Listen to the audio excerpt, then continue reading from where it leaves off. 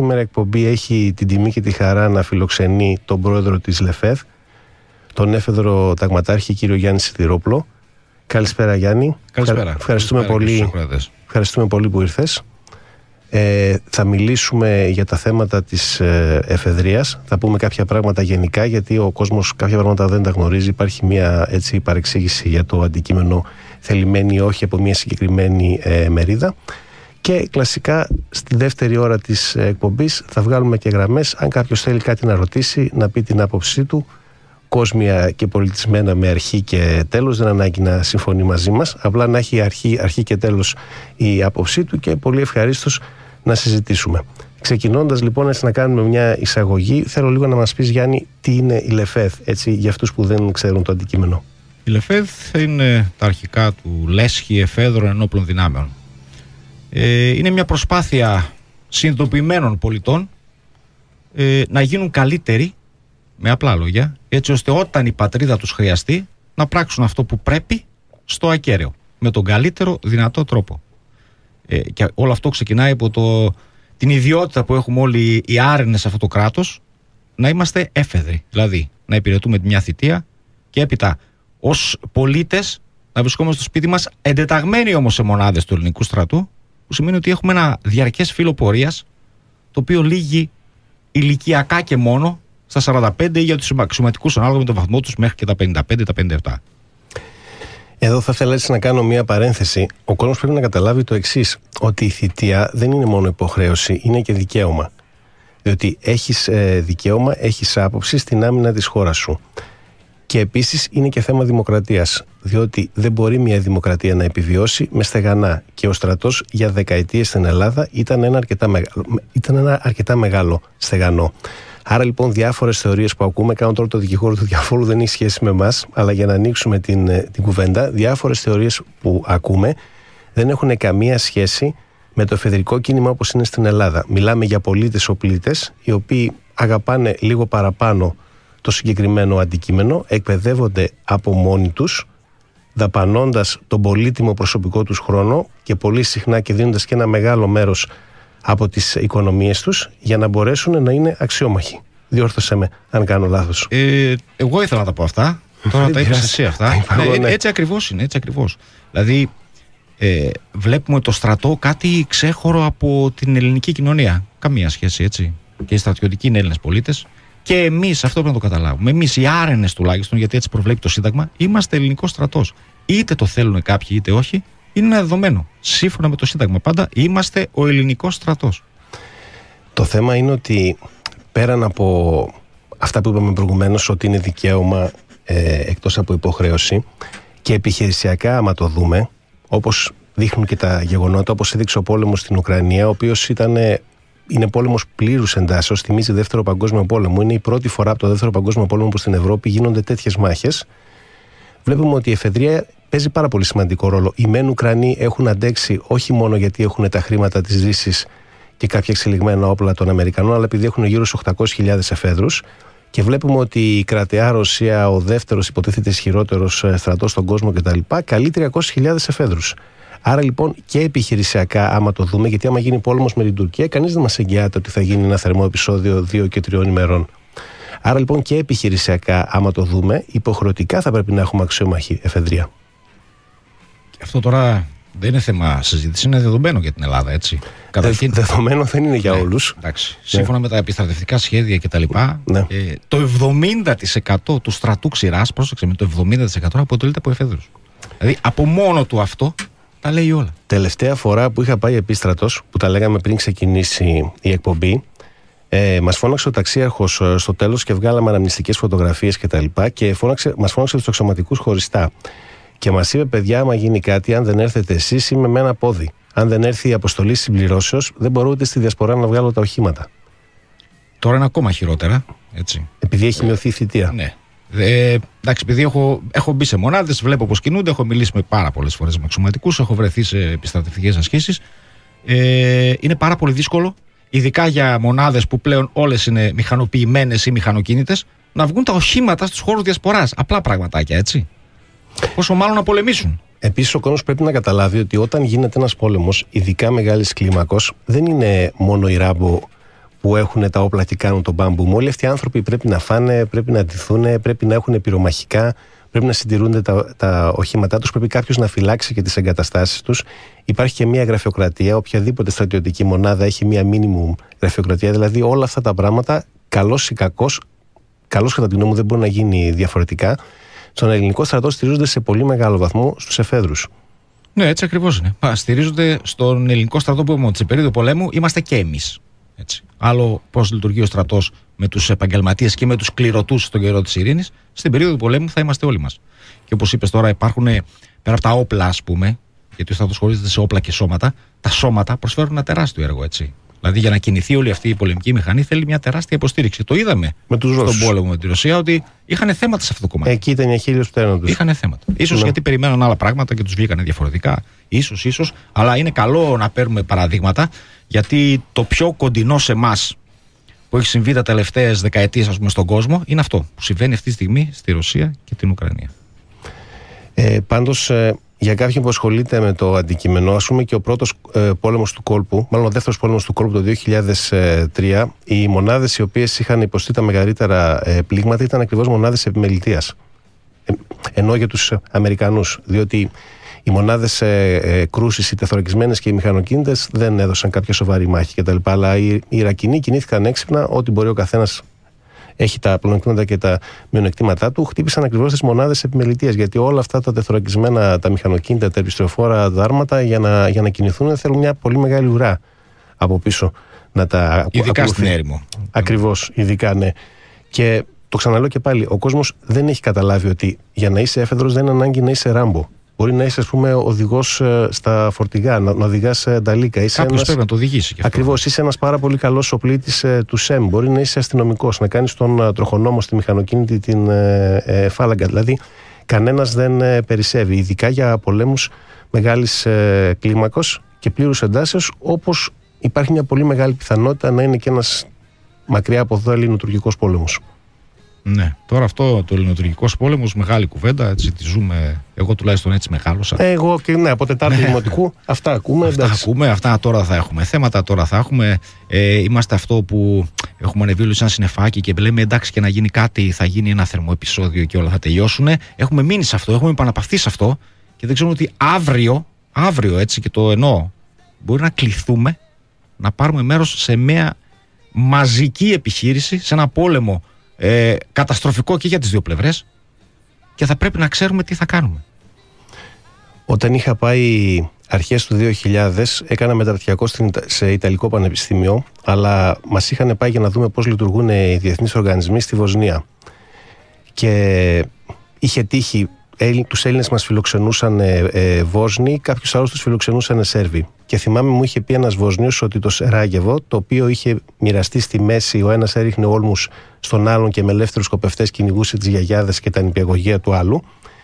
Πριν από κάποια χρόνια είχαν φιλοξενήσει τους χειμερινούς Ολυμπιακούς και θεωρούνταν η πόλη πρότυπο στην πρώην Ιγκοσλαβία. Πώς δηλαδή όλοι οι πολιτισμοί είχαν ε, συγχωνευτεί, πόσο όλοι είχαν παντρευτεί με όλους. Α πούμε, μας έλεγε πόσο ας πούμε, οι μουσουλμάνοι μετά το Ραμαζάνι κερνούσαν τους Ορθοδόξους, οι Ορθόδοξοι το Πάσχα σπάγανε αυγά με τους ε, μουσουλμάνους.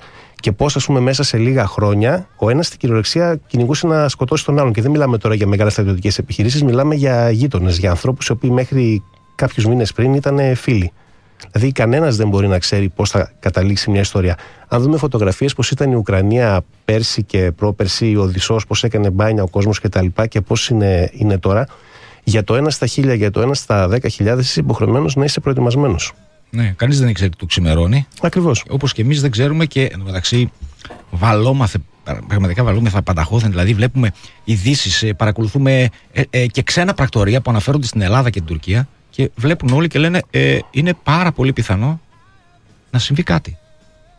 Και αν συμβεί κάτι, δεν θα είναι επεισόδιο. Να ξέρετε, γιατί ε, έξω αυτή τη στιγμή βρίσκονται τεράστιες δυνάμεις. Κανένας δεν ξέρει τι θα είναι. Απλά είναι καλύτερα να είσαι προετοιμασμένος για το χειρότερο και απλά να τα ξαναβάλεις στις αποθήκες, παρά να σου έρθει κανονικός ε, πόλεμος και να μην έχεις να βγάλεις τα στοιχειώδη. Αυτό είναι το πιο σίγουρο από όλα.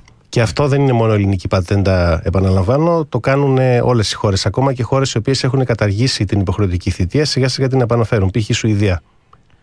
οι οποίοι κάνανε ξανά ασκήσεις με εφέδρους που είχαν να κάνουν το 1960. Ε, τώρα το χρειάζονται, τώρα βλέπουν ότι έχουν θέματα και τώρα θα αναγκαστικά θα, η ανάγκη σε κάνει να κάνεις πράγματα. Έτσι. Ε, όσον αφορά αυτό που κάνουμε τόσα χρόνια, εμείς ξεκινήσαμε να το κάνουμε γιατί; Ε, γιατί η εκπαίδευση που δεχθήκαμε όσο υπηρετούσαμε στη θητεία μας δεν ήταν ικανή για μένα. Εγώ, ναι. ας πούμε, προσωπικά ναι. θεωρούμαι ένας πάρα πάρα πολύ καλός έφεδρο αξιωματικός. Μου το λέγανε οι διοικητές μου, μου το λέγανε ο λοχαγό μου. Όπου σε όποια μονάδα και αν πήγα, μου λέγανε ο Σιδηρόπουλος είναι δοκιμάρα. ε, όταν έφυγα από το στρατό και μετά από λίγα χρόνια άρχισα να προσπαθώ και να μαθαίνω πράγματα, συνειδητοποίησα ότι ε, δεν ήξερα και πάρα πολλά. Είχα το πάθος, έτσι. Πραγματικά ε, αυτό που έκανα το αγαπούσα και το έκανα με τον καλύτερο δυνατό τρόπο, ε, αλλά δεν ήμουν τόσο καλά προετοιμασμένος. Τώρα είμαι καλύτερα. Πολύ καλύτερα. Ε, τώρα, να μην τα λέμε αυτά δημόσια, αλλά νομίζω ότι και από, μόνοι, και από πολλούς μονίμους είστε καλύτερα προετοιμασμένοι. Διότι αν σκεφτείς ένα μόνιμο στέλεχος τι χαρτούρα έχει, τι ε, καθήκοντα άσχετα με τη μαχητική ικανότητα είναι επιφορτισμένος ε, κάθε φορά ο καθένας, δηλαδή νομίζω ότι όχι μόνο για εφέδρους, πιστεύω ότι και μόνιμοι σε πολύ μεγάλη πλειοψηφία δεν έχουν ε, τις γνώσεις που έχετε ναι. και τις ε, Κακώς συμβαίνει και αυτό, ναι. Και το έχω δει και εγώ αρκετές φορές. Κακός κάκιστα. Ναι. Τώρα για να κάνω και λίγο το δικηγόρο του διαβόλου για την εκπαίδευση που είπες. Ε, αυτό είναι το μόνο σίγουρο. Καταρχήν δεν έχουμε εκπαίδευση. Τώρα μιλάω για τους αξιωματικούς έτσι. Κακά τα σχήματα. Τώρα δεν κάνουμε εκπαίδευση αξιωματικού. Εκπαίδευση 19 και αν της παλιάς εποχής. Και είναι και κρίμα διότι όταν, ας πούμε, άλλος είναι τοπογράφος και πηγαίνει στο πυροβολικό, παραδείγματος χάρη, ουσιαστικά η υπηρεσία έχει ένα έτοιμο στέλεχος. Πράγματα που θέλει ο άλλος ε, μήνες και χρόνια για να εργαλείο, τα μάθει. Εργαλείο, Ακριβώς, ναι. Τον έχει έτοιμο. Ε, Δυστυχώς ε, δεν. Ε, αναλωνόμαστε σε πράγματα τα οποία εντάξει, όλα, όλα χρειάζονται και οι αγκαρίες και τα στρωμένα κρεβάτια και η ομοιομορφία κτλ. Αλλά όλα αυτά είναι δείκτες πειθαρχίας. Δυστυχώς από ένα σημείο και πέρα οι δείκτες έχουν γίνει αυτοσκοπός. Δεν ξέρω πώς είναι τώρα. Αλλά στην εποχή μου ήταν τραγική η, η κατάσταση και βλέπω και ορισμένους ε, απόστατους που βγαίνουν και λένε ήταν έτσι και ήταν έτσι και ήταν έτσι, επειδή δεν υπηρέτησα το 1960, το 1998 απολύθηκα και επίστρατος έχω πάει δύο-τρεις φορές. Ε, δεν ήταν και τόσο ορόδινα τα πράγματα παλιά. Δηλαδή και παλιά που είχαμε 18 μήνες θητείες, πάλι δεν μας φτάναν υπηρεσίες. Πάλι θυμάμαι ερχόταν από το Κεβό που άλλος ήταν ορμιστή, δεν είχε και ίντερνετ τότε, δεν είχε δει όρμο στη ζωή του. Δηλαδή νομίζω ότι κάποια προβλήματα είναι διαχρονικά. Ναι. Τώρα αυτά τα πράγματα που λέμε ναι. ε, τα ακούνε αυτοί που ακούνε, όσοι ναι. ακούνε. Και ναι. είναι ένα, ένα μυστικό το οποίο το έχουμε καλά κρυμμένο όλοι μας. Όλοι το ξέρουμε. Δεν ναι, ναι, δεν με κατάλαβες. Το ξέρουμε όλοι. Πραγματικά. Αλλά δεν κάνουμε τίποτα γι' αυτό. Αυτό κάνουμε τόσα χρόνια. Κάνουμε κάτι γι' αυτό. Προσπαθούμε, πιέζοντας και την υπηρεσία. Έτσι. Έχουμε κάνει προτάσεις εδώ και χρόνια. Ε, ενημερώνουμε τα κόμματα της Βουλής για τις προτάσεις μας. Δηλαδή, κάνουμε και μια οργανωμένη δουλειά και σε αυτό το κομμάτι για να δούμε το τι πρέπει να γίνει. Το οποίο για μένα είναι λάθος από την αρχή. Θα σου πω εγώ κάτι άλλο. Γιατί πήρε τη θητεία; Ποιος ενημέρωσε ποτέ επίσημα στα 18 σου χρόνια που τελειώνει σχολείο ότι πρέπει να πας στο στρατό; Ποιος; Ο μπαμπάς σου, ο θείος σου, τα φιλαράκια σου που ήταν πιο μεγάλοι και σου πάνε πρέπει να πας φαντάρος. Αυτό. Και πας στο στρατό και περνάς εκεί χωρίς να ξέρεις τους λόγους. Γιατί έχουν τεράστια σημασία, όπω αναφέραμε στην αρχή, οι λόγοι. Γιατί πάμε, το προβλέπει το Σύνταγμα. Γιατί ο στρατός μπορεί να έχει αυτή τη δύναμη που μπορεί να υποστηρίξει το κράτος και οι υπόλοιποι να είναι έφεδοι. Και ο πιο σοβαρός λόγος που ανέφερες είναι όχι οικονομικός, είναι αυτός που είπες. Ότι πρέπει ο πολίτης να είναι στρατιώτης. Ο στρατός δεν πρέπει να είναι μια κλειστή κοινωνία. Ακριβώς. Γιατί... Έχει τεράστια σημασία. Είναι καθαρά δικαίωμα δημοκρατικό. Όπως ακριβώς το έθεσε στην αρχή. Γι' αυτό σου είπα, τα είπες, τι να πω. Ακριβώς. Αυτό είναι ένα πολύ μεγάλο θέμα και θα το ε, ξαναπώ, ας πούμε. Η συμμετοχή ε, στην ένοπλη ε, δύναμη είναι και αυτή μια εξασφάλιση για τη δημοκρατία. Είναι μια εξασφάλιση ότι δεν υπάρχουν ε, στεγανά η ελληνική κοινωνία και κάποιες άλλες κοινωνίες, όχι τόσο ε, προηγμένες, υπέφεραν από πραξικοπήματα, αποστάσεις, από αναταραχές στην πολιτική τους ζωή, επειδή ακριβώς είχαν δημιουργήσει στεγανά. Επίσης, αν ο στρατός ανακατεύεται με τα πολιτικά και γίνεται αστυνομία, όπως παραδείγματος χάρη σε κάποιες λατινοαμερικάνικες χώρες, χάνει μετά την αποστολή του. Ο πόλεμος των Φόκλαντ τα έδειξε. Η Αργεντινή ήταν τέσσερις φορές πιο πολύ από τους Άγγλους, ήταν δίπλα στη χώρα τους και στο τέλος ναι, χάσανε. Ναι. Διότι δεν, δεν γίνεται. Με αυτά λοιπόν τα απλά πράγματα, είναι πολύ σωστό αυτό που λες, θα πρέπει να τα μαθαίνει ο πολίτης, να είναι περήφανος για αυτό που κάνει. Θα πρέπει φυσικά και τα μόνιμα στελέχη να εκπαιδευτούν και αυτά τα πράγματα να τα ε, κατανοήσουν και να τα μεταδώσουν σε αυτούς που έρχονται να υπηρετήσουν την ε, θητεία τους. Υπάρχουν ε, πολλοί, το μεγαλύτερο μέρος που το κάνουν. Υπάρχει όμως και ένα κομμάτι το οποίο δεν έχει ε, προσαρμοστεί τώρα. Για να τα λέμε τα πράγματα πάλι όπως είναι. Υπάρχει ένα μέρος ε, των μονίμων ε, στελεχών, οι οποίοι γενικά δεν πολύ γουστάρουν έτσι για να το πω λαϊκά την ε, εφεδρεία. Mm, ναι, εντάξει. Ε, θα σου πω κι εγώ κάτι έτσι. Τώρα κάνω το δικηγόρο του διαφόλου. Ναι. Αλλά και δεν έχουν και πολύ άδικο. Και δεν έχουν. Μου έχουν, έχουν βρεθεί με αξιωματικούς που έχουμε πάει ας πούμε, για να κάνουμε κάποια πραγματάκια, έχουμε μπει σε μονάδες που μου έχουν πει, ε, φίλε μου, πριν ε, σας δω, ε, είχα τη χειρότερη εντύπωση για τους εφέδρους. Και τους έλεγα, Όπα, κράτα την. Είναι αυτό που λες. Μην βλέπεις αυτό. Έχεις δίκιο απόλυτο. Αυτοί είμαστε. Είμαστε ο Γκρινιάρης που δεν ξέρει γιατί πάει εκεί. Ξέρει, αλλά κάνει τον πονηρό που πηγαίνει και ε, το πρώτο πράγμα που κάνει είναι να προσπαθεί να αντιδράσει. Δεν θέλει να μάθει. Το θεωρεί μια αγκαρία που δεν είναι. Όλα αυτά είναι, πρέπει να ξεκινήσουν από την αρχή. Πρέπει να κατα... Για μένα έπρεπε τουλάχιστον 6 με 7 φορές το χρόνο να καλείσαι για εκπαίδευση. Για μια συντήρηση, για κάτι, για ένα νέο όπλο, για οτιδήποτε. Μια επαφή ξανά με το στρατό, να φορέσεις μια στολή, την οποία πρέπει να είναι δική σου. Γιατί όταν πας εκεί και σε δίνουν σαν παλιάτσο, γιατί να ξέρεις, σαν παλιάτσο σε δίνουν. Ε; Εγώ με τα δικά μου πια και Έτσι, μπράβο. Έχει μεγάλη σημασία αυτό. Όλα. Όταν δίνει έναν σαν παλιάτσο, τον εξοπλίζεις σαν παλιάτσο, σαν παλιάτσο θα φέρεται. Συμφωνώ. Έτσι ακριβώς. Ε, και για να μην λένε κάποιοι που μας ακούνε ότι ζούμε σε άλλο κόσμο, ε, πριν από κάποια χρόνια γύριζα με το, με το αεροπλάνο, πριν COVID και τα λοιπά, και ήταν δίπλα μου ένας σταγματάρχης δανός, του πυροβολικού. Το κατάλαβα από, το, από τα οπλώσιμα. Τον μπέρδευσα γιατί μοιάζουν οι στολές, τον ρώτησα άμα είναι Γερμανός. Στην αρχή εκνευρίστηκε μετά όμως από περιέργεια ήθελα να τον ρωτήσω κάποια πράγματα. Του είπα: Εγώ ήμουν πεζικό, είχαμε 4 και 2 σαν κανόνι των 105 κτλ. Τέλος πάντων, έσπασα τον πάγο και πιάσαμε κουβέντα. Και τι μου έκανε εντύπωση; Αυτός τώρα γυρνούσε από ειρηνευτική αποστολή. Και μου λέει: Μόνιμος είμαι εγώ που είμαι διοικητής και κάποιοι υπαξιωματικοί οι οποίοι συντηρούν τα ερπιστριοφόρα.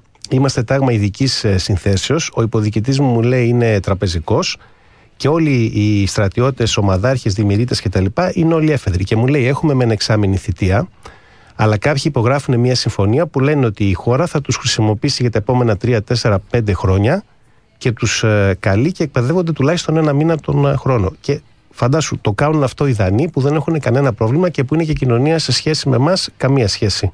Πολύ πιο προοδευτική εντός ή εκτός ναι, ναι. εισαγωγικών. Και αυτό είναι το παράδοξο με την Ελλάδα. Γιατί ε, αν δεις όλα τα κράτη, γιατί αν κάτσεις και διαβάσεις λίγο και μελετήσεις, όλα τα κράτη έχουν ένα δικό τους τρόπο που ασχολούνται με τους εφέδρους. Γιατί όλοι οι στρατοί έχουν εφέδρους. Ε, και είναι λόγω ανάγκης. Κάποιοι στρατοί δεν χρειάζονται, ας πούμε. Κάποιοι στρατοί. Ναι, ε, η Κωνσταντίνα, ας πούμε, ναι, δεν ναι, έχει καθόλου ναι, στρατό. Μπράβο. Ε, Βλέπεις μια Ελβετία, ας πούμε, που δεν έχει εχθρούς πουθενά, που ποτέ δεν συμμετείχε, αν περάσουμε εκείνους τους παλιούς πολέμους με τα ξύφη κτλ. Δεν συμμετείχε σε πολέμους ε, έχει ένα απίστευτο σύστημα εφεδρείας. Ναι, έτσι είναι, είναι χώρα πρότυπος σε αυτά. Ναι. Σε αυτά, ναι. Αλλά πρόσεχε, όλοι έχουν μια διαφορετική αντίληψη. Εμείς που έχουμε έναν εχθρό πραγματικό δίπλα μας, ο οποίος μας απειλεί εδώ και δεκαετίες συνεχώς με πόλεμο, αντιμετωπίζουμε το πράγμα πάρα πολύ χλιαρά. Δεν θέλω να πάω στην περίπτωση του Ισραήλ, που είναι όλοι ταυτόχρονα πολεμιστές, εάν χρειαστεί, που έχουν τα όπλα στο σπίτι τους, άντρες γυναίκες, γιατί υπηρετούν θητεία και άντρες και γυναίκες. Ναι, ναι, δύο και το έχουν αποδείξει ένα κράτος ε, μη υπαρκτό. Ε, γεννήθηκε ξαφνικά ανάμεσα σε εχθρούς, κατάφερε να τους νικήσει σε δύο πολέμους και είναι μία από τις μεγαλύτερες στρατιωτικές δυνάμεις στην περιοχή. Λοιπόν, επειδή είναι αδυσόπιτος ο ραδιοφωνικός χρόνος, κάνουμε το θεσμοθετημένο διάλειμμα και επανερχόμαστε. Όλες οι χώρες, ακόμα και η Δανία, όπως σου είχα πει για το Δανό Ταγματάρχη που γνώρισα τυχαία, έχουν ε, συστήματα εφεδρείας. Οι λόγοι είναι απλοί. Πρώτον, οικονομικά, κανένας, καμία χώρα όσο πλούσια και αν είναι, δεν μπορεί μονίμως να έχει έναν πλήρη ε, στρατό, ακόμα και σε περίοδο ειρήνης. Και δεύτερον, κανένας δεν ξέρει τι του ξημερώνει και είναι υποχρεωμένος να είναι προετοιμασμένος για όλα τα σενάρια. Ναι, ναι, ο στρατός είναι ανάγκη. Σε όλες τις δημοκρατικές κοινωνίες είναι ανάγκη. Αυτό το ξαναλέμε πάλι γιατί υπάρχουν κάποιες ε, παρανοήσεις. Το να είσαι ας πούμε πολίτης και να έχεις το δικαίωμα να φέρεις όπλα, το να είσαι πολίτης και να έχεις ε, δικαίωμα να έχεις ας πούμε την ε, ε, τιμή, το προνόμιο να είσαι αξιωματικός δεν είναι μόνο για επιχειρησιακούς λόγους, είναι ακριβώς είναι και λόγος ε, δημοκρατίας γιατί δεν είναι μόνο υποχρέωση, είναι και δικαίωμα για να μην υπάρχουν στεγανά. Και αυτό που είπαμε προηγουμένως, χώρες που υπάρχουν στεγανά και οι στρατοί τους δεν είναι καλοί επιχειρησιακά. είναι μόνο για εσωτερικούς εχθρούς και όχι για εξωτερικούς, εντός και εκτός ε, εισαγωγικών. Και χώρες που πραγματικά συμμετέχει ο πολίτης είναι και πιο αποτελεσματικοί. Ναι, έτσι. Δεν, δεν νομίζω να, να χρειάζεται να πούμε κάτι. Γιατί όποιος διαφωνεί σε αυτό, ε, απλά δεν βλέπει. Τώρα. Έχει κλείσει μάτια αυτιά, δεν ασχολείται και λέει το δικό του. Θα κάνω τώρα και λίγο το δικηγόρο του διαβόλου. Τελευταία φορά που πήγαμε επίστρατη, ένας μόνιμος παξιωματικό μας είχε πει ότι σιγά μην γίνει πόλεμος με τα τζέτρια κτλ. Ε, είχατε κάποια χρησιμότητα το 40 και στον πόλεμο της Κορέας και το Σαγκάριο κτλ. Αλλά τώρα είναι όλα ηλεκτρονικά κτλ. Τι να σας κάνουμε, δεν προλαβαίνουμε να σας εκπαιδεύσουμε κτλ. Εγώ δεν ξέρω την ε, απάντηση, αλλά για να ακούσουμε και την, και τη δική σου ε, άποψη. Ναι. Ό,τι φανεί του Λολοστεφανή, θα πω εγώ. ναι. Ε, υπάρχουν αυτές τις τραγικότητες, υπάρχουν. Έτσι, αυτοί οι πόλεμοι με τα κουμπάκια που. Τους και εγώ τα ακούω συνεχώς. Ε, έτσι λέγανε και οι Ουκρανοί. Ότι οι πόλεμοι γίνονται με τα κουμπάκια. Τώρα σκοτώνονται μεταξύ τους. Και εγώ λέω πάντα, παιδιά, ο πόλεμος θα είναι απλός. Άνθρωποι εναντίον ανθρώπων θα πάμε και θα πρέπει να σκοτώσουμε ανθρώπους οι οποίοι έρχονται να μας σκοτώσουν. Είναι πάρα πολύ δύσκολο. Και σαν ιδέα και μόνο είναι δύσκολο. Φαντάσου πόσο είναι και στην πράξη, γιατί αν δεν ξέρεις τι θα κάνεις, θα χαθούμε χωρίς λόγο. Θα πάμε χωρίς λόγο. Εάν δεν είμαστε εκπαιδευμένοι, δεν είμαστε καλά εξοπλισμένοι, δεν έχουμε καμία ελπίδα, πραγματικά. Γι' αυτό το θέμα έχω να κάνω και εγώ ένα σχόλιο. Πρώτον, υπάρχει το Tank Trophy, όπου είναι ένας νατοικός ε, διαγωνισμός με πληρώματα αρμάτων. Επανειλημμένως έχουν κερδίσει οι Αυστριακοί, οι Φιλανδοί, οι οποίοι είναι έφεδροι. Και μάλιστα την τελευταία φορά το πλήρωμα το οποίο κέρδισε ήταν όλοι άσχετοι με το αντικείμενο. Ένας ήταν λογιστής, ο άλλος ήταν υπάλληλος στο Δήμο, δηλαδή οι μόνιμοι οι Άγγλοι, Αμερικάνοι κτλ. πατώσανε. Δεύτερον, οι εποχές έχουν αλλάξει. Τώρα, παιδιά 8-10 ε, χρονών διαχειρίζονται κινητά την ε, τεχνολογία, δεν είναι όπως ήταν ε, παλιά. 10 φορές καλύτερα από εμάς. Και δεν μπορώ να πιστέψω ότι κάποιος που έχει τελειώσει Πολυτεχνείο δεν μπορεί να προσαρμοστεί και να μάθει κάποιο αντικείμενο και να το μάθει, χωρίς να θέλω να προσβάλλω και να μειώσω κανέναν, και να το μάθει κάποιος επόπο, ας πούμε, ο οποίος είναι απόφυτος ε, τρίτης Λυκείου και τελείωσε το σχολείο με το ζόρι. Τώρα μιλάω γενικά έτσι για να καταλάβει ο κόσμος. Δεν προσβάλλω κανέναν. Δηλαδή νομίζω ότι αυτά είναι προφάσεις εναμαρτίες. Ναι. Ε, δεν θα μείνω άλλος στις προφάσεις, γιατί είπαμε, ο καθένας μπορεί να λέει ό,τι θέλει και τη λέει ξεστή. Ε, η ιδεολογία είναι, είναι σαν ασπίδα για τους δειλούς. Ναι. Οι δειλοί, οι, οι οκνοί, ε, οι μη ικανοί ε, βρίσκουν μια ιδεολογία και την περνάνε στον κόσμο ότι ε, πιστεύω αυτό. Για να κρύψουν αυτό το μειονέκτημά τους. Και επίσης ο κόσμο θα πρέπει να καταλάβει και κάτι άλλο. Όταν μιλάμε ότι κάποιος είναι, ότι είναι έφεδρος, ότι είναι ενεργός στην εφεδρεία, δεν είναι μόνο το καθαρά μαχητικό μέρος. Το να ξέρεις, ας πούμε, πρώτες βοήθειες. Αν τραυματιστεί κάποιος, πάθει ένα έφραγμα στο λεωφορείο μέχρι να έρθει το νοσοκομιακό να μπορέσει να το συνεφέρεις, να, να του προσφέρεις τα ε, βασικά. Όλα, όλα αυτά είναι πάρα πολύ σημαντικά πράγματα. Ναι, κοίτα, για να γυρίσουμε ξανά στη Λεφέδ, η οποία είναι ένα Γι σωματείο. Κάνω την πάσα. Έτσι, είναι ένα σωματείο όπως όλα. Έτσι, όπως οι πολιτιστικοί σύλλογοι, τα χορευτικά κτλ. Ακριβώς. Ε, το οποίο είναι και εθελοντική ομάδα, εντεταγμένη στα μητρώα της Γενικής Γραμματείας Πολιτικής Προστασίας, με ένα πολύ πλούσιο, θα το έλεγα, έργο σε αυτό το κομμάτι. Ναι, στις πρώτες βοήθειες. Ναι, στην πυροφύλαξη. Είμαστε κάθε καλοκαίρι στα βουνά. Σωστό, πολύ σημαντικό. Και δεν μιλούμε μόνο για Θεσσαλονίκη. Έτσι. Είμαστε... Ναι. Υπάρχουν 24 λεφέδες όλη την Ελλάδα. Και τα παρατήματα μας είναι πάρα πολύ δυνατά και σε αυτό το κομμάτι. Δηλαδή, συνδράμουμε την πολιτεία παντού. Έτσι τώρα πάμε αλλού στο τι είναι η Λεφέδ. Ε, η Λεφέδ τι είναι. Η Λεφέδ είναι ένας αγνός και καθαρός πατριωτισμός. Αλλά πατριωτισμός όχι σαν ιδέα, γιατί ο πατριωτισμός ε, δεν είναι ούτε ιδέα ούτε ιδεολογία. Πρέπει να είναι τρόπος ζωής. Να προσφέρω στην πατρίδα μου και κάποια στιγμή όλο αυτό θα γυρίσει σε μένα. Αυτό δεν καταλαβαίνουμε. Όλο αυτό το πράγμα θα γυρίσει σε μένα. Και τι είναι η πατρίδα μου. Εσύ, Δημήτρη, το παλικάρι απέναντι, ο διπλανός μου, ο γείτονά μου, Πόσο μάλλον για τους εφέδρους αξιωματικούς. Ε, θα σου πω γιατί ανέφερες επιστρατευτικές ασκήσει. Όταν πάμε κάποιοι εξωματικοί σε μια επιστρατευτική άσκηση, ο διοικητής μας λέει ένα συγκεκριμένο ποιηματάκι. Γιατί εγώ το έχω ακούσει πάρα πολλές φορές. είναι το ίδιο.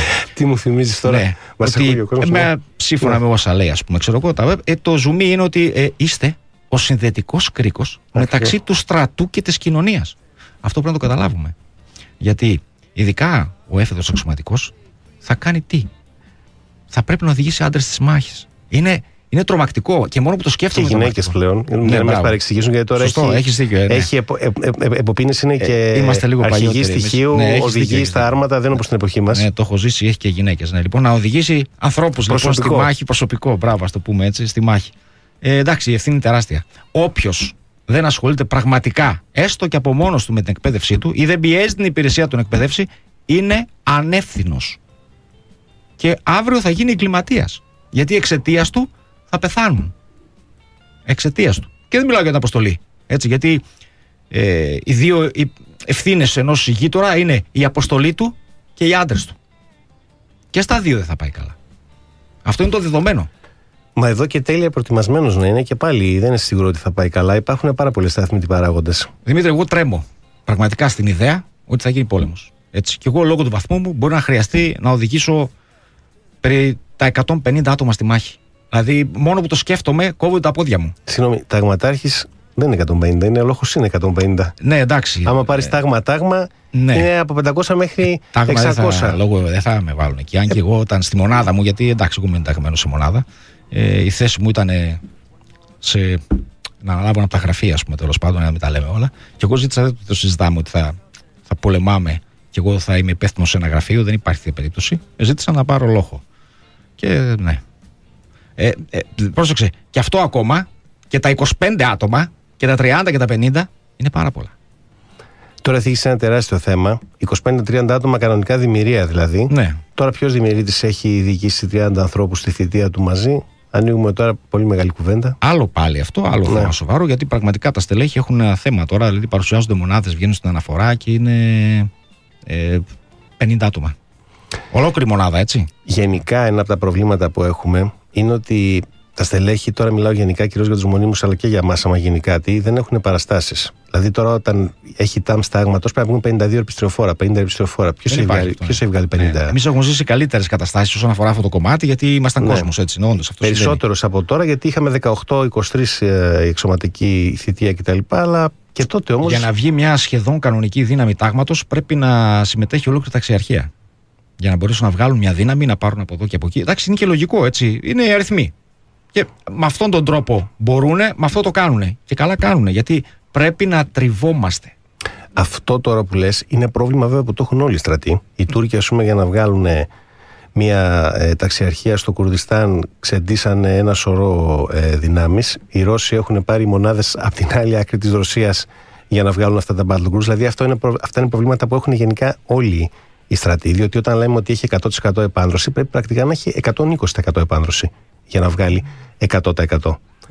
Τώρα, όταν εσύ από την αρχή με το καλημέρα έχεις 20-30% επάνδρωση και περιμένεις, ας πούμε, να έρθει η αποστολή συμπληρώσεως κτλ., δηλαδή αυτά είναι θέματα τα οποία θα πρέπει να απασχολήσουν πάρα πολύ τη στρατιωτική ηγεσία. Την απασχολούν, να είσαι σίγουρος. Ε, την απασχολούν και δόξα τω Θεώ τελευταία χρόνια έχουν γίνει κάποιες κινήσεις προς τη σωστή κατεύθυνση. Ναι, έχουν γίνει, αλλά λέμε να μην τα λέμε όλα. Γιατί, ναι. όχι, όχι, εγώ δεν έχω θέματα. Ε, έχουν γίνει, ναι. Αλλά τι, τι, τι τρέχει τώρα εδώ με τη στρατιωτική ηγεσία; Είναι θέμα καθαρά ανθρώπων και αντίληψης. Της ηγεσίας πολύ ψηλά. Ε, και πάντα αυτές οι ηγεσίες κατηγορούν τις πολιτικές ηγεσίες. Οι οποίες για μένα είναι οι μόνες οι οποίες δεν έχουν καμία απολύτως ευθύνη. Ε, φυσικά. Έτσι. Αφού δεν είναι τεχνοκράτες, δεν είναι το αντικείμενο. Δεν μπορεί ο Υπουργός να του πει. Απλά τι γίνεται τώρα; Πόσο στη φεκιοφόρου θα έχει ο λόγος. Οι ψηλά ιστάμενοι λοιπόν ε, στην ηγεσία προσπαθώντας δεν ξέρω για ποιο λόγο, να δείξουν καλοί ή να μην ε, δεχθούν κριτική από τους κύκλους τους γνωστούς που έχουμε πει, ε, δεν κάνουν αυτά που πρέπει να κάνουν. Και είναι πάρα πολύ απλό έτσι. Δηλαδή, αν κάποιος τα δει ε, με καθαρό μάτι, ίσως κάποιος εκτός στρατού, μόνο μπορεί να το δει αυτό, ε, θα πει αν είναι δυνατόν να μην εκπαιδεύονται οι έφεδροι. Αν είναι δυνατόν. Και κάνουμε τώρα μια άσκηση μεγάλη, ας πούμε, και λέμε Α, τι ωραία κλήθηκαν έφεδροι. Ξέρεις ότι τα τελευταία χρόνια ήταν μηδαμινές οι κλήσεις εφέδρων; Και ο κορονοϊός ήταν μια δικαιολογία βασικά σε αυτό, έτσι, γιατί δύο χρόνια δεν υπήρχε τίποτα. Έτσι, εντελώς, ούτε καν η εθνοφυλακή. Που οι εθνοφύλακες είναι σε μια άλλη κατάσταση. Και, τε. Ε, ναι, εκπαιδεύονται λίγο καλύτερα, είναι λίγο διαφορετικά τα πράγματα. Ακόμα και εκεί είχαν παγώσει τα πάντα. Και τα πράγματα είναι πάρα πολύ απλά. Τα ξαναλέμε. Εάν χρειαστεί, θα πάμε να πολεμήσουμε όλοι. Και κάτσουμε να σκεφτούμε μόνοι μας και να πούμε: Μπορώ, ρε φίλε, να σηκωθώ αύριο από εδώ, να πάω να φορέσω μια στολή, να φορτωθώ τον εξοπλισμό μου και να πολεμήσω. Ε, όχι, δεν μπορώ. Δεν μπορώ. Και για να το ξαναπούμε πάλι, οι μεγάλοι πόλεμοι δεν γίνονται όπως στο σινεμά. Δεν είναι μόνο με κομμανταράδες κτλ.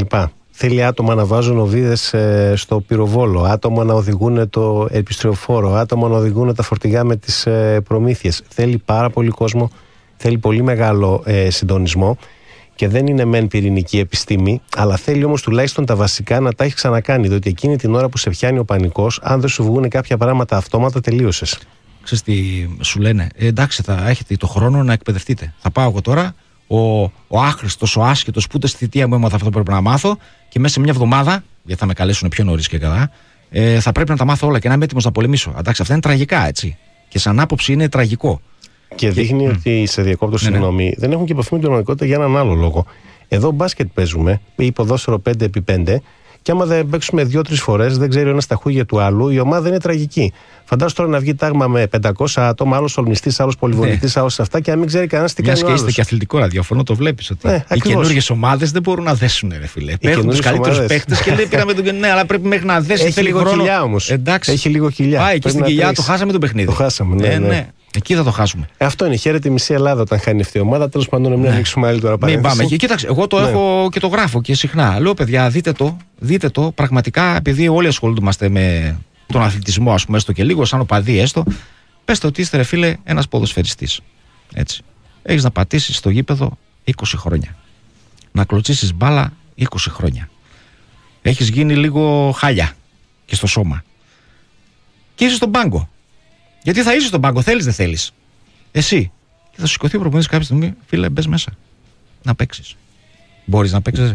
Θα έχει έναν απειλητινωτή Δεν στην υπάρχει άκρη. περίπτωση να παίξεις. Ε, Α το δούμε και έτσι. Δεν μπορείς, αν δεν είσαι καλά προετοιμασμένος. Και εγώ δεν μιλάω να είμαστε συνεχώς και να πηγαίνουμε σε εκπαιδεύσεις. Είναι πάρα πολύ απλό. Και φταίει και εδώ η υπηρεσία γιατί τι κάνει. Σε καλεί σε μια μετακπαίδευση 6 ημερών. Οι οποίες 6 μέρες είναι καθημερινές. Καλεί τον έφεδρο καθημερινές. Γιατί δεν μπορεί η υπηρεσία να προσαρμοστεί στους εφέδρους και να πει τι. Παρασκευή, το έχουμε κάνει πρόταση έτσι. Παρασκευή, Σάββατο, Κυριακή, Δευτέρα. Ο έφεδρος να λείπει δύο μέρες. Αλλά αυτό θα γίνεται συχνά. Έτσι. Τέσσερις φορές το χρόνο. Δύο εργάσιμες θα λείπει. Να δεις που τα νούμερα θα ανέβουν πάρα πολύ. Γιατί ο άλλος θα την κάνει τη θυσία. Τώρα να λείπει έξι μέρες, αν το καθίσουμε και του σκεφτούμε ο καθένας τον εαυτό του, έξι μέρες από τη δουλειά, εάν δεν είσαι δημόσιος υπάλληλος, είναι πάρα πολύ δύσκολο. Και χάνεις και τη δουλειά σου, έτσι, να ξέρεις. Έτσι είναι. Χάνεις τη θέση σου που είναι λίγο ψηλά, θα πέσεις πιο χαμηλά. Ό, όλα αυτά συμβαίνουν τώρα. Όταν μιλάμε μεταξύ μας, ναι, αυ- αυτό είναι φτιαγμένο μόνο για δημόσιους υπαλλήλους. Που δεν τους νοιάζει, το μαγαζί δεν κλείνει. Θα πάμε εκεί, θα γυρίσουμε, θα πληρωθούμε και κανονικά και δεν τρέχει τίποτα. Ακόμα και εκεί είναι λάθος. Όλη η αντίληψη είναι λάθος. Πολλά πράγματα πρέπει να αλλάξουν, Δημήτρη. Πάρα πολλά πράγματα. Και επειδή ανέφερες τα θέματα της εκπαίδευσης και το επίπεδό μας, ε, εμείς βλέπουμε πάρα πολύ μπροστά. Και προσπαθούμε να γίνουμε καλύτεροι μαθαίνοντας ο ένας τον άλλον. Συμμετέχουμε σε ασκήσεις του εξωτερικού. Ε, ο- για όσους γνωρίζουν, ε, συμμετέχουμε εδώ και πέντε χρόνια σε μια μεγάλη άσκηση που διοργανώνει ο Βρετανικός στρατός, την Gabriel Patrol, με απίστευτα αποτελέσματα. Ακριβώς. Αυτό ήθελα να πω. Απίστευτα αποτελέσματα. Και δεν είναι τα αποτελέσματα ω αποτελέσματα μόνο, είναι το μήνυμα που δίνουμε. Γιατί τι γίνεται; Πηγαίνουν εκεί οκτώ έφεδροι. Οι οποίοι μέσω όρο ηλικίας τους είναι 40 ετών. Πρόσεξε με, 40 ετών. Και αντιμετωπίζουν γύρω στις 120 ομάδες, 8 ανδρών, φανταστείτε τα νούμερα τώρα, επαγγελματιών στρατιωτικών από ειδικές δυνάμεις από τα περισσότερα κράτη της Ευρώπης και της Αμερικής. Και καταφέρνουν να πάρουν την τρίτη και τη δεύτερη θέση. Δηλαδή είναι τόσο τρομακτικό, όσο ακριβώς ακούγεται. Για φαντάσου τι λένε αυτοί. Βλέποντας αυτούς τους εφέδρους να καταφέρουν αυτά που. Ε, ε, να ξέρεις ότι οι μισές ομάδες δεν παίρνουν στα μετάλλια, αυτό είναι δεδομένο, ε, και πάρα πολλές εγκαταλείπουν. Ε, φυσικά, δεν ναι. καταφέρουν καν να τερματίσουν. Βέβαια. Και μιλάμε για Άγγλους, έτσι. Όπου είχε πάει ο πρίγκιπας Ανδρέας να γίνει πεζοναύτης, τον κόψανε, δεν άντεξε και έβγαλε το σώμα των βασιλικών πεζοναυτών ε, μπλούζα και έλεγε μπορούσε να γίνει πρίγκιπας, δεν μπορούσε να γίνει πεζοναύτης. Πεζοναύτης. Και μετά η Βασίλισσα τους ανάγκασε και την ε, αποσύρανε. Μιλάμε τώρα για άλλα μυαλά, άλλα ήθη. Ξέρεις τι μας είπε μια φορά Άλλα ο, έθιμα. ο στρατηγός ο κύριος Κωνσταράκος. Ε, Είχαμε κάνει μια συζήτηση έτσι. Λέει παιδιά, οι Άγγλοι και εκπαίδευση για μάγειρες να κάνουν να πηγαίνετε. Ε, φυσικά. Πάντα θα βγει κάτι καλό. Φυσικά, ναι. Πέρα του κάνουμε μια μεγάλη άσκηση εμείς, το Μακεδονομάχο. Γίνεται κάθε χρόνο. Έρχονται έφεδροι από όλη την Ελλάδα και την Κύπρο. Και τι κάνουμε εκεί. Προσπαθούμε όσα μαθαίνουμε όλο το χρόνο να τα περάσουμε σε αυτή την άσκηση. Που τα skills τι είναι. Τι πρέπει να γνωρίζει ένας άντρας σε ένα σύγχρονο πεδίο μάχης. Ό,τι μπορεί να, συμβεί, να του συμβεί, ό,τι θα χρειαστεί να ξέρει, είναι μέσα σε αυτή την άσκηση. Και δεν έρχονται στο θα πας εκεί, θα κάνεις αυτό. Τους συμβαίνουν ευνηδιαστικά. Και τους βάζουμε πάρα πολλά προβλήματα τα οποία πρέπει να λύσουν με μεγάλη πίεση και ε, έχοντας ε, κουραστεί πάρα πολύ, γιατί εντάξει είναι και μεγάλες αποστάσεις, είναι και τα χιλιόμετρα και οι περιοχές είναι δύσκολες. Ε, κάνουν πράγματα τα οποία πραγματικά σε ένα σύγχρονο πόλεμο θα τα συναντήσουν. Α ρωτήσω κάτι εγώ. Ξέρεις πώς λαμβάνουμε έναν εχμάλωτο, ξέρεις πώς πρέπει να το διαχειριστούμε; Όλοι έρχονται, διαβασμένοι. Ξέρουν τι προβλέπει η συνθήκη της Γενέβης. Ποιος εκπαίδευσε ποτέ γι' αυτό; Κοίταξε, στα χαρτιά είχε το δεύτερο γραφείο πάντα είχαν φτιάξει έναν χώρο έτσι με σειρματοπλέγματα που υποτίθεται ότι θα βάζαμε τους εχμαλώτους, αλλά πρακτικά όχι. Ναι. Γιατί μου έδειξε κάποιος πώς να κάνω αίτηση ε, πυρός. Α πούμε, στο πεζικό ναι. δεν υπάρχουν ειδικότητες. Άμα είσαι διοικητής λόγου, πρέπει να ξέρεις επιστριοφόρα, γιατί είσαι μηχανοκίνητος. Πρέπει να ξέρεις όλμους, ε, πολυβόλα, αντι, αντιαρματικά, μικρό ναρκοπαίδιο. Άλλος που είναι σκαπανέας δεν ε, ξέρει όρμου. Όλοι είναι για όλα. Δηλαδή, βασικά πράγματα που τα θεωρούμε δεδομένα. Αυτό με τις ειδικότητε είναι τρομακτικό. Ακριβώς. Γιατί εγώ, ας πούμε, θα έχω ένα πολυβόλο δίπλα μου, το οποίο έχει ε, βγει εκτός μάχης ο χειριστής και επειδή δεν είμαι πολυβολητής, δεν ξέρω να το χειριστώ. Ή ένα αντιραματικό οτιδήποτε. Αυτό είναι τραγικό. Νομίζουμε ότι είμαστε εκεί, δεν θα πεθάνουμε ποτέ, δεν θα πάθουμε ποτέ τίποτα. Ο καθένας, μπράβο, θα είναι με το όπλο του και θα κάνει δουλειά. Ε, όχι.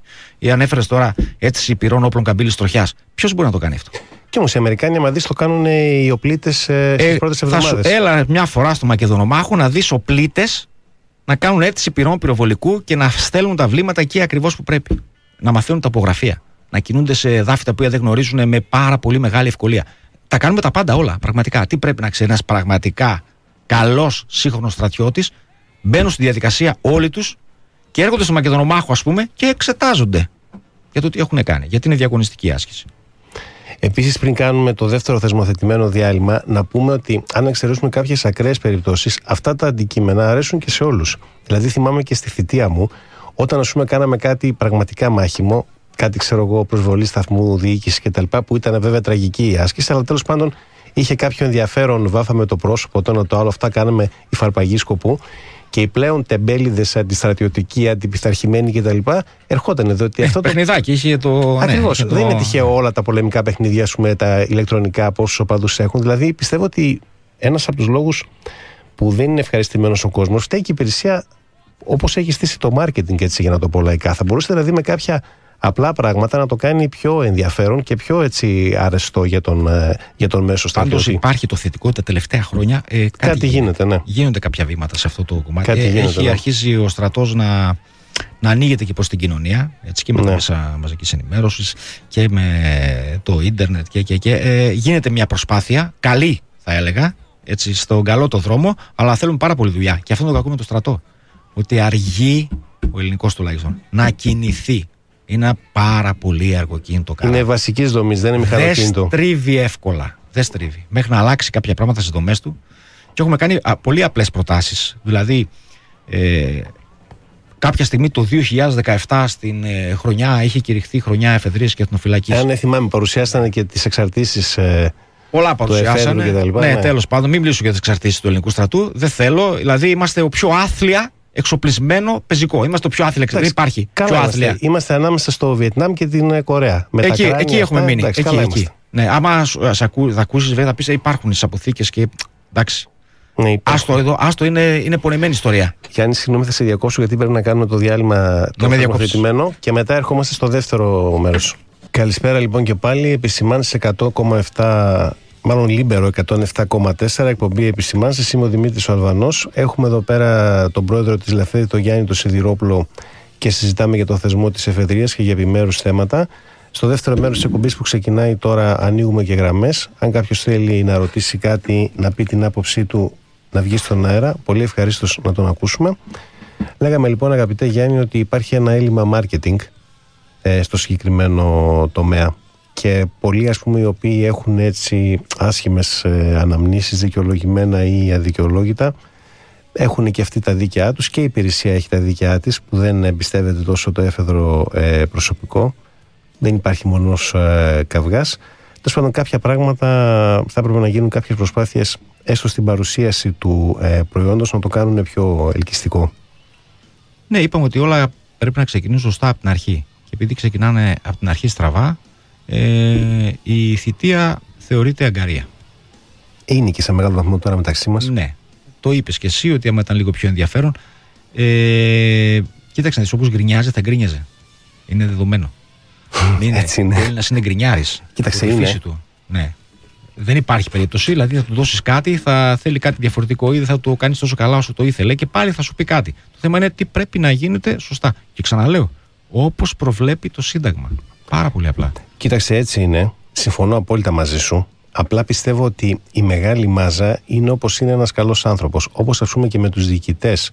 Παρόλη την κρίνια, το ένα το άλλο, οι στρατιώτες, όποιος ήταν καλός διοικητής και είχε έτσι στρατιωτική νοοτροπία με την καλή του όρου έννοια, τον ε, σεβότανε και τον χαιρετάει και μετά αφού έχει κάνει τη θητεία. Ας πούμε, εγώ έχω περιπτώσεις από φίλους μου μονίμους που παντρεύτηκε κάποιος και στο γάμο του η μισή ήταν άτομα που τους είχε στρατιώτες. Αυτό είναι η μεγαλύτερη. Αυτός είναι ο ηγέτης, φίλε. Ακριβώς. Αυτή είναι, η μεγαλύτερη αναγνώριση. Όμως τώρα σου λέω κατά τα ψέματα, θα το πω τώρα δημόσια, δεν το έχω ξαναπεί. Στις φωτογραφίες που έχω ανεβάσει με το, με το άγημα, εκείνο που δεν φαίνεται είναι ότι η Καναδέζα που έκανε το άγημα έκανε και το ταξί για κάποιον συνταγματάρχη. Ο οποίος προφανώς για να μην πληρώνει ταξί ή για να μην ταλαιπωρεί το υπηρεσιακό, καθόταν συνοδηγός στο άγημα σημαίας, μπαίναμε εμείς 10 άτομα πίσω και το, το τζιπ που έβγαινε για το, για το άγημα τον πήγαινε σπίτι του. Δηλαδή τώρα όσοι τα έχουν ζήσει αυτά τα πράγματα, ό,τι και να τους λέμε, ας πούμε, τους έχει μείνει αυτή η ε, ανάμνηση. Εντάξει, συμβαίνουν πράγματα, εντάξει. Συμβαίνουν. Το έχουμε ζήσει περισσότεροι. Ε, έχουμε, έχουμε μια γραμμή, παρακαλώ. Έπεσε. Λοιπόν, θέλω να σου πω δηλαδή ότι εντάξει, είναι και ο... υπάρχει ένα πολύ μεγάλο μέρος ε, του πληθυσμού. Ναι, παρακαλώ, παρακαλώ. Ναι, καλημέρα. Γεια από σας. Νέα Υόρκη παίρνω. Από Νέα Υόρκη. Σταύρος Τουμανίδης λέγομαι. Μας ακούτε από το Ναι, ίντερνετ ναι, ναι. προφανώς. Ακούμε το Λίμπερο τώρα να παίξει και πάω 9.30 ώρα. Ναι, ε, Καλά μισό πάτε και λεπτό σας λίγο. ακούω το πρωί, όλη μέρα σας ακούω. Ναι, λοιπόν, ένα λεπτό λίγο να τα βάλει εδώ και ο Αλλά- Γιάννης. Ωραία. Παρακαλώ. Ήθελα να ρωτήσω, ε, επειδή ε, έκλεισα για λίγο το τηλέφωνο, δεν μπορούσα να σας ακούσω. Ήθελα να ρωτήσω για μας το εξωτερικό. Είμαι, έχω πάει φαντάρος εγώ το 91, είμαι γεννημένος στις Σέρες, είμαι εδώ 46 χρόνια, είμαι 51, έχω πάει φαντάρος το 91 τεθωρακισμένα. Ε, καλά, έκανα εξάμεινο επειδή σήμανε μόνιμος κάτοικος της Αμερικής, αλλά εγώ μιλάω για μένα τώρα, δεν ξέρω, αλλά μπορεί να είναι και άλλοι που ακούνε εδώ στο εξωτερικό. Για μας, κάτι γίνεται στην Ελλάδα, έτσι. Πού πάμε, τι κάνουμε, θέλουμε να έρθουμε. Ναι. Ε, κοίταξε, αυτό θα έπρεπε να στο απαντήσει η υπηρεσία, αλλά μην νομίζεις, δεν υπάρχει περίπτωση να κληθείς. Αν ε, γνωρίζει η υπηρεσία, ελπίζω να γνωρίζει ότι εσύ κατοικείς στην Αμερική τόσα χρόνια, δεν πρόκειται να σε καλέσει ποτέ. Το άλλο θέμα, αν θέλεις εσύ να έρθεις, ε, τότε θα υπάρχει θέση για όλους. ναι. Οκ. Έτσι μόνο να, να μάθουμε για να ξέρουμε τι γίνεται γιατί τα πράγματα είναι παντού άσχημα.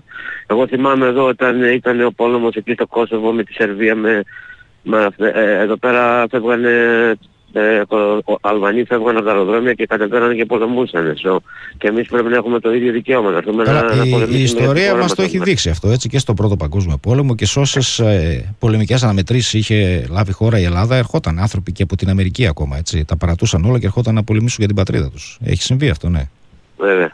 Και, και ακόμα θα έρθουμε. Είμαι Αυτό σίγουρο. να το έχουν στο νου τους οι Τούρκοι. Είμαι σίγουρος. Και ακόμα θα έρθουμε. Έχουμε παλικάρια εδώ. Δεν θα αφήσουμε, δεν θα αφήσουμε έτσι την, την, την πατρίδα Να μας. είστε καλά, να είστε καλά. Ωραία. Τέλος Ευχα- πάντων. Ευχαριστούμε για την παρέμβαση. Να είστε καλά. Πάμε στον επόμενο. Ναι, Καλησπέρα. καλησπέρα κύριε Αλβανέ. Γεια σας. Καλησπέρα και στον αξιότιμο κύριο Σιδηρόπουλο, τον πρόεδρο. Υπήρξα έφεδρος και συγκινήθηκα πάρα πολύ από την εκπομπή σας σήμερα. Τις εποχές τις δύσκολες. Το 67 στη Μυτιλίνη υπηρετούσα σαν έφεδρος αξιωματικός με το βασιλιά τότε το Βουτέος Κωνσταντίνο που είχε κάνει την παρέμβασή του και μετά νευροκόπη άλλα τρία χρόνια γιατί δήλωσα και ανακατάταξη γιατί πήγα στο πανεπιστήμιο στα Πυθίτα και δηλαδή του τεστ είναι πέντε χρόνια και είχα αρκετές εμπειρίες, γλυκόπικρες θα μπορούσα να πω και όλα καλά. Αυτή τη στιγμή, μ' ακούτε, Ναι, βεβαίως.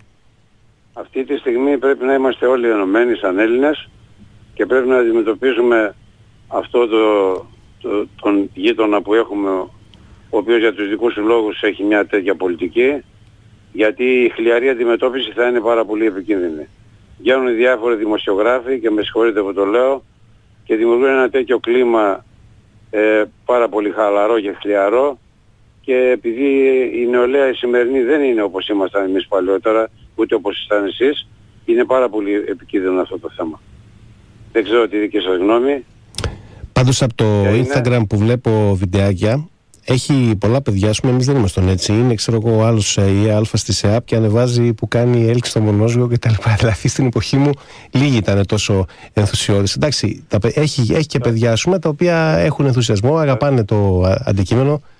Πάντα... Θα σας πω κάτι. Ναι. Αν μου επιτρέπετε, από Παρακαλώ. την ημερομηνία που σας είπα, Ναι. είμαι 78 και γυμνάζομαι καθημερινά, όχι Καλά για να κάνετε. είμαι έτοιμο πόλεμος, απλώς για να δεν ξέρω τι μπορεί να γίνει και, και ήθελα να ρωτήσω τον κύριο Σιδηρόπουλο, αν μου επιτρέπει ο κύριος Σιδηρόπουλος στην Βεβαίως, ερώτηση. γι' αυτό, γι' αυτό τον κρατήσαμε. Ε, επειδή είχα δηλώσει στο Σύλλογο Ευθέτρων μια εγγραφή πολύ παλιά, αλλά επειδή μετά προσελήφθη από το Πανεπιστήμιο μόλις τελείωσα στην, στο μάρκετ της Volkswagen Audi και ήμουν εκεί 38 χρόνια, ε, τώρα που λιγάκι τα πράγματα έχουν συρριγνωθεί οικονομικά, μπορούμε να τρώμε στη λέσχη; Και να πληρώνουμε ένα αντίτιμο. Ε, ναι. Πού κατοικείτε; Για βατά. Α, είστε Θεσσαλονίκη. Εδώ, κοιτάξτε τώρα, να σας πω κάτι, δεν με πολύ απασχολεί το θέμα, αλλά ναι, είναι κάποια από τα προνόμια που έχουν οι έφεδροι εξωματικοί πλην του νομού Θεσσαλονίκης, να ξέρετε, και των Αθηνών. Απλή του νόμου της Αυγής. Ενώ σε όλους τους νομούς, τουλάχιστον τους περισσότερους, μπορούν οποιαδήποτε στιγμή να πάνε στη Λέσχη και να κάνουν ε, Ατύχησα δηλαδή οτιδήποτε. κύριε Σιδηρόπουλο. Ε, ναι, είναι μόνο ένας μικρός αριθμός λόγω Καλά, ότι. εντάξει, τη- εντάξει. γιατί η Λέσχη εξυπηρετεί πάρα πολλούς, εξυπηρετεί και στρατιωτικούς και αστυνομικούς και. και, Ξέρω, και, και ξέρω. ναι. Σας ευχαριστώ πολύ για τη φιλοξενία. Εμείς ευχαριστούμε και για καλή την δύναμη παρέμβαση. και στον κύριο Αλβανό που κάνει εξαίρετο έργο. Ευχαριστώ. Γιατί και ευχαριστώ. με τους πληστηριασμούς τον παρακολούθησε ήταν εξαιρετικός. ευχαριστώ. Και με εσάς κύριε Σπιδρόπουλε που είστε κοντά. Να είστε καλά. Ε, δεν, δεν έχουμε γραμμή άλλη, έτσι; Ωραία. Τώρα να κάνω ένα σχόλιο. Ο Γιάννη μου έδωσε πάσα ο ακροατής. Ε, παλιά μπορούσες από δόκιμος να κάνεις ανακατάταξη. Στην εποχή μου καταργήθηκε αυτό και ποιο ήταν τώρα το γελίο, ας πούμε. Στη Σάμο που ήμουνα, μαζί με εμάς ήταν και άρματα. Ένας λοιπόν ορκίζεται ανθιπυλαρχό συνάδελφος έφεδρος, δηλώνει ανακατάταξη, γίνεται λοχεία και έρχεται δόκιμος από την ε, αυλώνα και είναι δημηρίτη. Και αυτός είναι βοηθός δημηρίτη. Δηλαδή, αν αυτός έφευγε από το στρατό, θα τον φωνάζανε δύο φορές και με μια εβδομάδα θα γινόταν λοχαγός. Και επειδή έκανε ανακατάταξη, έγινε υπαξιωματικός και παίρνει εντολές από κάποιον ο οποίος έξι μήνες εκπαιδεύτηκε στην ίδια σχολή με αυτόν. Μιλάμε τώρα πραγματικά για παραλογισμό, έτσι. Αυτό βέβαια δεν ήταν κακό και δεν ήταν ανακατάταξη αυτή. Να ξέρεις, ήταν μονιμοποίηση. Ωραία. Μπορούσε να γίνεις μόνιμος, χάνοντας δύο βαθμούς, Ναι. ε, δύο ή τρεις βαθμούς, δεν θυμάμαι, και να κάνεις ανακατάταξη, να μείνεις με το βαθμό σου, κάνοντας ένα συμβόλαιο για πέντε χρόνια. Έμενες κανονικά με το βαθμό σου και απλά κάθε πέντε χρόνια έπρεπε να σε κάνουν, και αν δεν ήσουν κανένας τέλος πάντων, έκανε συμβόλαιο και έμενε στο στρατό. Έχει ανθρώπους που αποστρατεύτηκαν έτσι. Ε, δεν γινόταν διαφορετικά. Ε, σου λένε αυτοί μπορούμε να έχουμε έναν άνθρωπο ο οποίος έχει κάνει 24 μήνες τουλάχιστον στον ελληνικό στρατό, είναι καλά εκπαιδευμένος και δεν μπορούσες όμως να γίνεις κατευθείαν αθυπολογαγό. Δεν μπορεί να είσαι ο ίδιος, γιατί θα σου λέγανε το αντίστροφο μετά. Με αυτόν που πέρασε τη σχολή Βελπίδων 4 χρόνια και έφαγε τα χρόνια Ναι, τους ανα, στα ανακατάταξη Βαλκάνια. κάνανε όμως για χρόνια. Απλά οι εξωματικοί που ήταν αποδόκιμοι φτάνανε μέχρι λοχαγό. Εγώ, ας πούμε, πρόλαβα. Είχαμε. Τόσο μέχρι διοικητές, λόγο. Ναι, ναι, ναι. ε, ναι, δηλαδή, κι εγώ, εντάξει. κι εγώ, κι εγώ. Οπότε- εγώ. Εγώ το πρόλαβα το μέτρο, έτσι. Ναι. Θα μπορούσα, ας πούμε, να κάνω ανακατάταξη κτλ. Ναι, εγώ το Δηλαδή, πρόλαβα. δεν υπάρχει λογική, ας πούμε. Άμα Ε, το δεις. Ναι. Και. εντάξει, Πρέπει, ναι. πρέπει να υπάρχει όμως κάποιος τρόπος ώστε. Ήταν αυτός ο τρόπος που είχαν βρει, ας πούμε. Έτσι, έπρεπε να χάσει τρεις βαθμούς, αν θυμάμαι καλά. Έχανε τρεις βαθμούς και έμπαινες κανονικά μόνιμος στην υπηρεσία. Πάντως σε, σε όλο τον κόσμο έχουν βρει κάποιες ισορροπίες. Όπως Ξέρεις, και αυτό. Ναι. Τώρα το πολύ διαφορετικό είναι γιατί τότε δεν υπήρχαν επαγγελματίες οπλίτες. Τώρα υπάρχουν επαγγελματίες οπλίτες, δηλαδή στρατιώτες που είναι επαγγελματίες. ναι. Υπάρχουν και οι όβα, οι οπλίτες βραχίε ανακατάταξη. Δηλαδή υπάρχει και ένας άλλος κόσμος. Και εδώ είναι το θέμα τώρα, ποια είναι η θέση, για να πάμε στο εφέδρο αξιωματικού, του εφέδρου αξιωματικού σε όλο αυτό. Ε, είναι λογικό ότι και η υπηρεσία δεν μπορεί να τον αντιμετωπίζει όπως αντιμετωπίζει έναν επαγγελματία. Εγώ το καταλαβαίνω απόλυτα έτσι. Δηλαδή, ε, τον επαγγελματία το λοχεία, ε, τον έχει πιο ψηλά. Κακό θα μου πεις. Ε, ναι, ρε φίλε, δεν μπορεί όμως ένα παιδάκι που πήγε και πέρασε τέσσερις μήνες στη ΣΕΑΠ. Μακάρι να πάει στη ΣΕΑΠ. Από άλλες χώρες δεν θέλω να δείξω κανένα, αλλά εντάξει, ΣΕΑΠ είναι. Νομίζω ότι είναι το ανώτερο επίπεδο. σε- Εντάξει, και σε- οι τεθωρακισμένοι είναι ζώρικοι. Μπράβο, αυτοί, αυτοί οι δύο εκεί. Ναι, λοιπόν. Ε, να να τους βάλεις το ίδιο. Ε, δεν γίνεται. Βέβαια, πρακτικά θα πρέπει ο, ο αξιωματικός να είναι αξιωματικός, ο υπαξιωματικός υπαξιωματικός, αλλά δεν έχουν ούτε την ίδια εκπαίδευση έτσι, και, και δεν πρόκειται ποτέ να είναι στο ίδιο επίπεδο. Ε, είναι είναι κανείς σε κάποια γραμμή, Όχι, ωραία. Λοιπόν, εδώ τώρα μου δίνεις μια πολύ ωραία πάσα. Είχα διαβάσει, είναι αληθινή ιστορία. Ένας κύριος ονόματι Eric Herbert πέθανε πρόσφατα. Αυτός λοιπόν ε, δεκα, είχε πάει 15 χρονών στον πόλεμο της Κορέας, είχε δηλώσει ψέματα την ηλικία του και 17 χρονών κατέλαβε ένα ύψωμα με 20 ανθρώπους, το οποίο τελικά δεν, μπόρεσαν να το, να το, δεν μπόρεσε να το κρατήσει ολόκληρο σύνταγμα. Αυτός λοιπόν, αφού γέμισε παράσημα, τον πρότεινε να γίνει αξιωματικός. Και είπε λοιπόν το επιτελείο το Αμερικάνικο ότι θα γεμίσει παράσημα, αλλά για να γίνει αξιωματικός, εφόσον δεν είναι από West Point, θα πρέπει να τελειώσει πανεπιστήμιο. Και του δώσαν τέσσερα χρόνια άδεια για να τελειώσει μια σχολή πανεπιστημιακή για να πάρει μετά το αστέρι. Στου αγγλοσαξονικούς στρατούς αυτά τα πράγματα είναι λιμένα. Ο υπαξιωματικός είναι για να κάνει την ε, εκπαίδευση. Αν θυμάστε το επτάμενος και ζέλεμα, το καψόνι που τρώνε είναι από το πεζοναύτη το λοχεία και επίτηδες έχουν λοχεία πεζοναύτη οι ναυτέοι κτλ. Ναι, εδώ λειτουργούν τελείως διαφορετικά. Όντως. Ναι, ακριβώς. Τώρα εμείς έχουμε άλλα ε, στεγανά. Είμαστε Βαλκάνοι, Νότιο Ευρωπαίοι. Είναι και τα 400 χρόνια. Πήραμε, δανειστήκαμε, δεν τους δώσαμε μόνο εμείς φώτα, δανειστήκαμε και διάφορα κουσούρια από τους ε, γείτονες. Εγώ προσωπικά δεν τα καταλαβαίνω αυτά τα πράγματα. Δηλαδή, ο καθένας έχει διαφορετική ε, δουλειά. Δεν είναι ούτε ανώτερη ούτε κατώτερη δουλειά του ε, καθενός. Δηλαδή, η νοσοκόμα, ας πούμε, στο νοσοκομείο δεν έχει μικρότερη αξία από τον γιατρό. Απλά δεν μπλέκεται το αντικείμενο του ενός με το αντικείμενο του άλλου. Και κανονικά ο αξιωματικός, πάλι στην Ελλάδα τα έχουμε ισοπεδώσει όλα, δεν είναι για να κάνει τη δουλειά που κάνει στον ελληνικό στρατό. Ναι. Για να τα λένε τα πράγματα όπως είναι δηλαδή. Ναι, ναι, ναι, ναι, ναι, ναι, ναι. ναι. Συμβαίνει αυτό και εντάξει, το δικό μου σύστημα είναι τελείως διαφορετικό. Δηλαδή, ο υπαξιωματικός, ο μόνιμος, μπορεί να φτάσει μέχρι ηλικιακά που θα του πάει, ας πούμε. Ακριβώς. Ναι. Οι Αμερικάνοι είναι διαφορετικοί. Είσαι υπαξιωματικός, μια ζωή θα είσαι υπαξιωματικός. Ακριβώς. Ναι. Από ένα σημείο και πέρα μιλάς μόνο με τον διοικητή, σα σέβονται όλοι κτλ. Αλλά δεν, δεν ξέρω αν είναι και αυτό πολύ δίκαιο, έτσι να σου πω την αλήθεια. Και άμα κάτσεις να το δεις. Ε, αν δεν υπάρχει αξιοκρατία, τίποτα δεν είναι δίκαιο να ξέρεις. Γιατί υπάρχουν αξιωματικοί οι οποίοι δεν αξίζουν να περνάνε ούτε έξω από τα στρατόπεδα. Όχι μέσα, έξω. Δεν θα πρέπει να είναι. Εκεί όμως είναι αξιωματικοί. Και οι υπαξιωματικοί οι οποίοι είναι άριστοι δεν μπορούν να φτάσουν ψηλά. Εντάξει.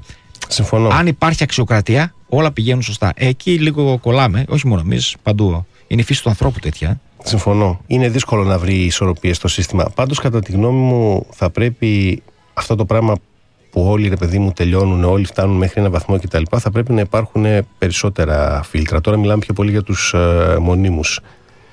Και δεν ξέρω τώρα και για τη σχολή Ευρωπίδων είναι μια πολύ μεγάλη συζήτηση. Α πούμε, η αντίστοιχη αγγλική είναι 10 μήνες, ούτε καν ένας ε, χρόνος. Δηλαδή, με ναι. τόσους που έχουμε με, με πανεπιστημιακά πτυχία, κάποια πράγματα δηλαδή μπορεί να ήταν για τη δεκαετία του 60 πρωτοποριακά κτλ. Δεν ξέρω τώρα κατά πόσο στην εποχή μας έχουν λόγο. Εντάξει, η σχολή Ευελπίδων είναι πανεπιστήμιο κανονικό. Έτσι. Αυτό, Μιλάμε, είναι, ναι, ότι, να σου πω κάτι, είναι ότι ναι. το ανώτατο που έχουμε στην Ελλάδα πραγματικά. Ναι, αλήθεια, είναι από, από το θέμα δηλαδή τρόπου εκπαίδευσης, ε, θεμάτων κτλ. είναι το πιο καλά κατερτισμένο. Τώρα το θέμα ποιο είναι; Ότι ε, ίσως έχουμε δώσει μεγαλύτερη βαρύτητα σε αυτό το κομμάτι στην μόρφωση και όχι στον στρατιωτικό που θα γίνει πολεμιστής. Έχουμε δώσει βάση στο μάνατζερ, έτσι, τον διοικητή και όχι στον πολεμιστή, αυτόν που θα οδηγήσει άντρα στη μάχη. Ε, εδώ ίσως πρέπει να γίνει βελτίωση και γίνεται. Σου οποίο ότι και άλλη φορά το έφερα. Τα τελευταία χρόνια έχουν αλλάξει αρκετά πράγματα προς τη σωστή κατεύθυνση. Κοίταξε, δεν αφιβάλλω τους άλλους, ε, εντάξει, εγώ έχω χάσει επαφή με το αντικείμενο της ε, πρακτική. Γενικά όμως ε, νομίζω ότι θα πρέπει κάποια στεγανά να τα ξεπεράσουμε σιγά σιγά. Έχουμε το πλεονέκτημα ως κοινωνία να έχουμε πάρα πολλούς πτυχιούχους. δηλαδή υπάρχουν ειδικότητες που, που σε ξένες χώρες κάνουν διαγωνισμούς και τους κυνηγάνε και τους παρακαλάνε κτλ. Εδώ έχουμε πάρα πολλούς. Και μιλάω τώρα για τεχνικά αντικείμενα. Έτσι, κανέναν δεν μειώνω και κανέναν δεν στεναχωρώ. Αλλά κάποιος, ο οποίος έχει τελειώσει θεολόγος, ας πούμε, η Ιταλική φιλολογία, δεν αξιοποιείται τόσο άμεσα από τις ενόπλες δυνάμεις από κάποιον που είναι τοπογράφος, έχει τελειώσει πολυτεχνείο, ναι, ναι, ναι, είναι γιατρός. Λογικό, δηλαδή, Έχουν, έχουμε έτοιμες πάρα πολλές ε, ειδικότητες και θα μπορούσαμε να κινηθούμε σε άλλα επίπεδα διαφορετικά. Δηλαδή, με, με πολύ μικρότερο κόστος και με πολύ μικρότερη γραφειοκρατία. Έχουμε γραμμή, παρακαλώ. Ναι, ε, καλησπέρα. Καλησπέρα. Λίγο πιο δυνατά, αν, αν θέλετε. Ναι, μιλάω Ωραία. Τώρα σας ακούω μια χαρά. Ωραία.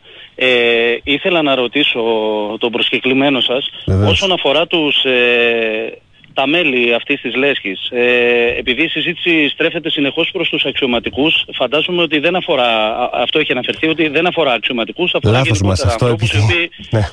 Δίκιο Ναι. έχετε. Δίκιο Ε, έχετε. επειδή Λάθος τυχάνει μας. Να, να είστε και οι δύο αξιωματικοί. στρέφεται Ακριβώς, συνεχώς λάθος η μας. συζήτηση. Λάθος μας, λάθος μας. Ε, εγώ ήθελα να ρωτήσω το εξής. Ε, δύο ερωτήματα βασικά. Ε, αφενός, ένας ο πλήτης, ε, όντας μέλος της Λέσχης, εκπαιδεύεται όσον αφορά κάποιες πρωτοβουλίες που, που πιθανόν να χρειαστεί να πάρει ε, λήψη διοίκησης αν κάποιος ας πούμε βγει εκτός μάχης, κάποιος υπαξιωματικός που είναι επικεφαλής του κτλ. Αφενός αυτό και αφετέρου όσον αφορά το μεγάλο πληθυσμό που έχουν ε, λευκό απολυτήριο. Αυτοί αξίζει να εκπαιδεύονται στα πλαίσια της λέσχης ή τους έχει ξεχασμένους γενικά η πολιτεία. Δηλαδή σε ένα θερμό επεισόδιο αυτοί ε, θα κάθονται σπίτι και θα βλέπουν τα, τις εξελίξεις από την τηλεόραση, θα κληθούν, μπορούν αυτόβουλα να πάνε και να παρουσιαστούν σε κάποιο τάγμα και να επανδρώσουν. Μμ. Αυτά τα δύο ήθελα να ρωτήσω. Τώρα, φίλε συνάδελφε, έχεις δείξει δύο θεματάκια πολύ σοβαρά και επειδή αναφέρεσαι στη Λέσχη τώρα, ε, πάρα πολύ σοβαρό θέμα είναι αυτό, το ποιος διοικεί μετά. Ε, να είστε σίγουροι ότι ένας από τους ε, κυρίους στόχους του εχθρού είναι ο επικεφαλής. Και οι πιθανότητες είναι πάρα πολύ μεγάλες να χαθεί στη μάχη ή να βγει εκτός μάχης. Άρα πρέπει κάποιος να αναλάβει τη δίκηση. Ε, στο στρατό υπάρχει ιεραρχία μέχρι του ενός, έτσι. Το γνωρίζουμε όλοι όσοι έχουμε υπηρετήσει. Δεν υπάρχει περίπτωση ανάμεσα σε δύο άτομα να μην δικεί κάποιος. Και το έθεσες πολύ όμορφα. Ναι, πρέπει όλοι οι στρατιώτες, όλοι οι στρατιώτες να μπορούν να αναλάβουν δίκηση. Ε, αυτό είναι που εμείς κοιμόμαστε, είπαμε. Γιατί ζούμε ε, σε όμορφες ασκήσεις, οι οποίες πάντα νικάμε, που στην ουσία είναι επιδείξεις, που ποτέ κανείς δεν παθαίνει τίποτα. Ε, πρέπει να μάθουμε ότι, να, και να καταλάβουμε βασικά ότι μπορεί να χρειαστεί να αναλάβουμε και δίκηση. Άρα τι πρέπει να ξέρουμε, πρέπει να ξέρουμε πράγματα παραπάνω. Να γίνουμε καλύτεροι, ώστε αν ποτέ χρειαστεί. Έτσι. Ναι. Ε, αυτό το πλαίσια κάνουμε των στη Λέσχη, εκπαιδεύσεων φίλε μου. Το όνομά σου; Αυτό ήθελα να- Το όνομά να- σου; Το όνομά σου; Γιώργος. Γιώργο. Ε, ε, εδώ, εδώ, Γιώργο, ε, έχουμε επικεντρωθεί εδώ και πάρα πολλά χρόνια. Βγάζουμε ανθρώπους από τη Λέσχη, οπλίτες, οι οποίοι πλέον είναι πάρα, πάρα πολύ καλοί και μπορούν άνετα να οδηγήσουν ένα αρκετά μεγάλο κλιμάκιο στη μάχη. Πίστεψέ με, πραγματικά. Και θα σου έλεγα, κάνε, κάνε τον κόπο να ασχοληθείς. Ε, για το δεύτερο, θύμισε μου το δεύτερο. Όσον αφορά όλο, όλη αυτή τη δεξαμενή των ανθρώπων που έχουν λευκό Α, μπράβο, απολυτήριο. μπράβο. Λοιπόν, και πρόσεξε. Παναπαύονται, κάθονται. Πρόσεξε τι γίνεται. Πώς λειτουργεί αυτό. Ε, το σύστημα έφεδρος, ας πούμε, έχει μια δεξαμενή που έχει όλους μας τον κάτω το 45 λοιπόν και την ανακατεύει έτσι. Σύμφωνα με ειδικότητες και τα λοιπά, τις ανάγκες και, και, και. Ε, κάποια στιγμή δεν σημαίνει ότι σήμερα έχω λευκό απολυτήριο, θα είμαι απολυτήριο, φιλοπορίας λέγεται. Θα είμαι πάντα με αυτό. Μπορεί ανά πάσα στιγμή να μου αλλάξει.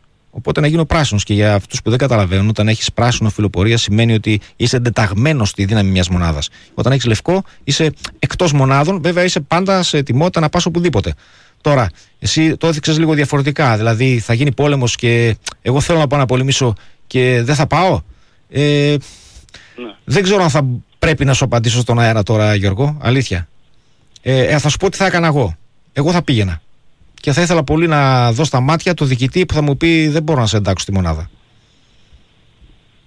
Αυτό. Άρα έχετε και κόσμο ο οποίος έχει λευκό φύλλο πορείας. Δυστυχώς είναι αρκετοί. Και αυτό είναι ένα μεγάλο πρόβλημα, έτσι. Πρόσεξε, οι άνθρωποι που προσπαθούν, που εκπαιδεύονται, που έχουν φτάσει σε ένα πάρα πολύ καλό επίπεδο, έχουν λευκό πύλο πορείας. Τους, Αυτό τους αγνοεί η υπηρεσία. είναι δηλαδή. τραγικό. Ναι. Πρόσεξε. Και δεν τους αγνοεί ε, εσκεμμένα. Εσκεμμένα, Τους απλά- αγνοεί γιατί Ναι. ε, δεν έχει βρει τους τρόπους να το κάνει, που είναι πάρα πολύ Να τους απλοί. Και εντοπίσει. Έχουμε κάνει, έχουμε κάνει τόσες προτάσεις και είναι τόσο όμορφα στημένες και οικονομικές, με μηδέν κόστος, ας το πούμε, που δεν ξέρω, είναι αυτό που σου λέω, είναι αργοκίνητο καράβι ο ελληνικός στρατός. Κινείται πολύ αργά. Ε, πάει στην κατήλη κατεύθυνση τώρα. Πρόσεξε, έχει πάρει καλή ρότα, αλλά πολύ αργά.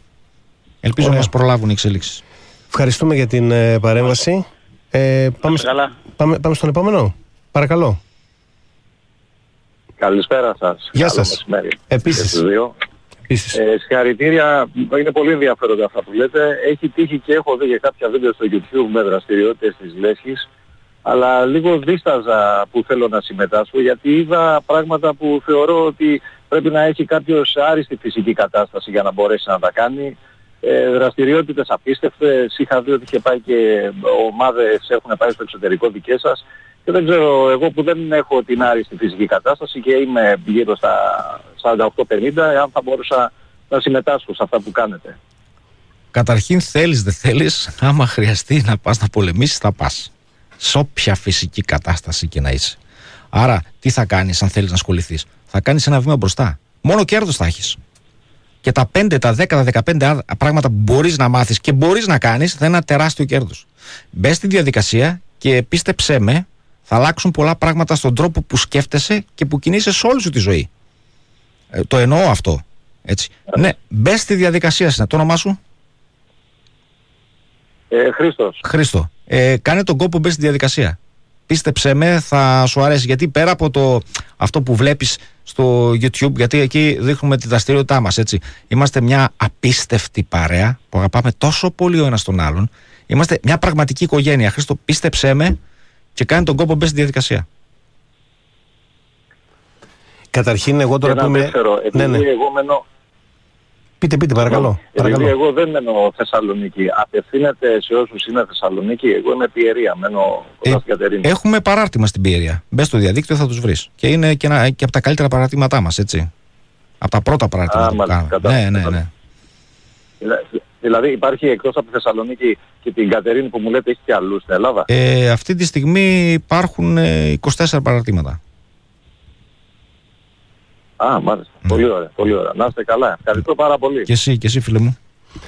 Ε, σε σχέση με αυτά που είπε ο προηγούμενος ε, φίλος, επειδή εγώ είμαι του καναπέ εφεδρό, δυστυχώς, έχω επισκεφτεί όμως τις εγκαταστάσεις ε, της ε, ΛΕΦΕΔ. Ε, μιλάμε για πολύ μεγάλη οργάνωση. Α πούμε, μου είχε κάνει εντύπωση ότι έχουν πλαστικά ψεύτικα όπλα, από ρητίνη όμως, για να ταιριάζει ε, το, το βάρος με τα κανονικά όπλα. Και αυτό το πράγμα με είχε εντυπωσιάσει. Οι δε τακτικές που κάνουν ε, στα μικρά κλιμάκια, τώρα δεν το λέω για να πενέψω το Γιάννη δημόσια, αμφιβάλλω αν τις κάνουν και μόνιμοι. Και μιλάμε τώρα για αξιωματικούς, όχι δεύτερης γραμμής, ας πούμε, σε όπλα υποστήριξης, αλλά σε όπλα ελιγμού.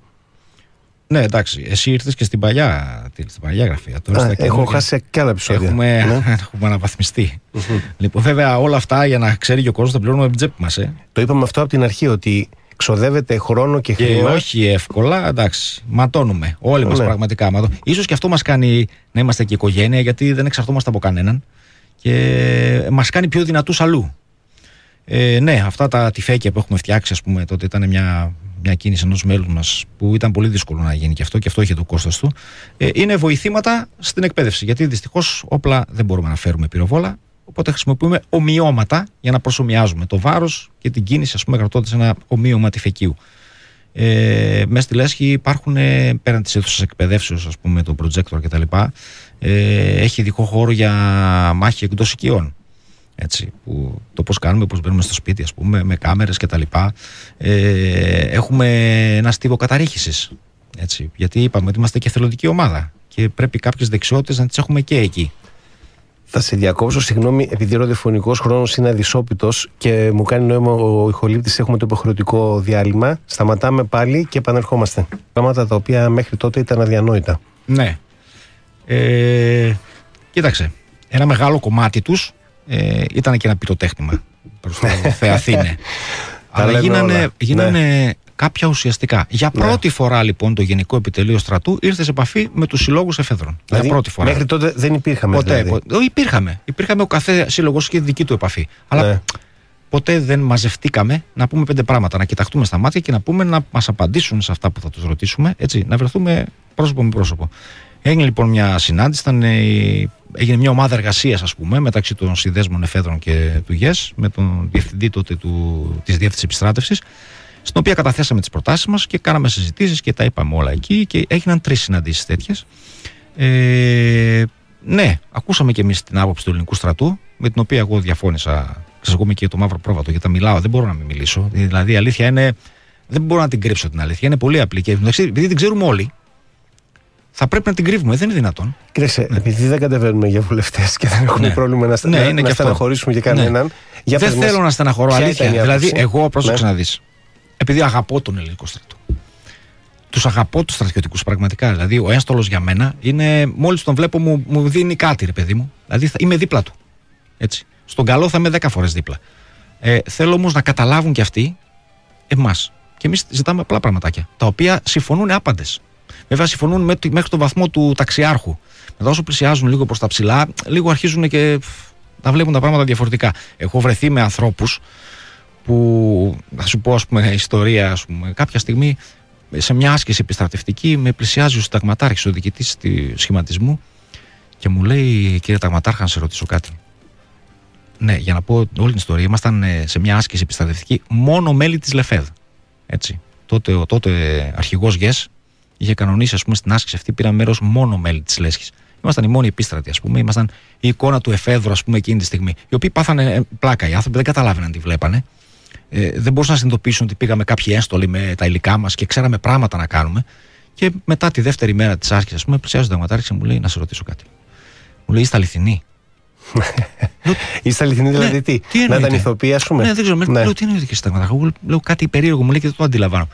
Με λέει τι, τι εννοώ, με λέει. Ρε. Είστε αληθινοί, υπάρχετε, μου λέει, ή θα ξυπνήσω, μου λέει αύριο.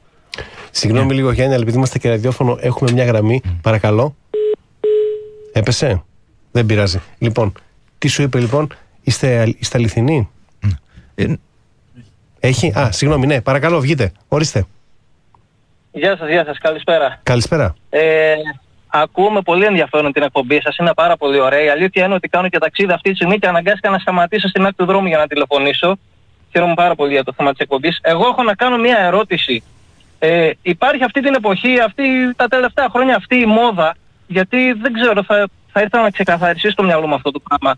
Πολλοί ασχολούνται με airsoft, το οποίο υποτίθεται ότι είναι στρατιωτική εξομοίωση, Ήθελα και εγώ παιχνίδι, να το πάνε στα ρωτήσω αυτό. πολεμάνε σε κτίρια, ναι.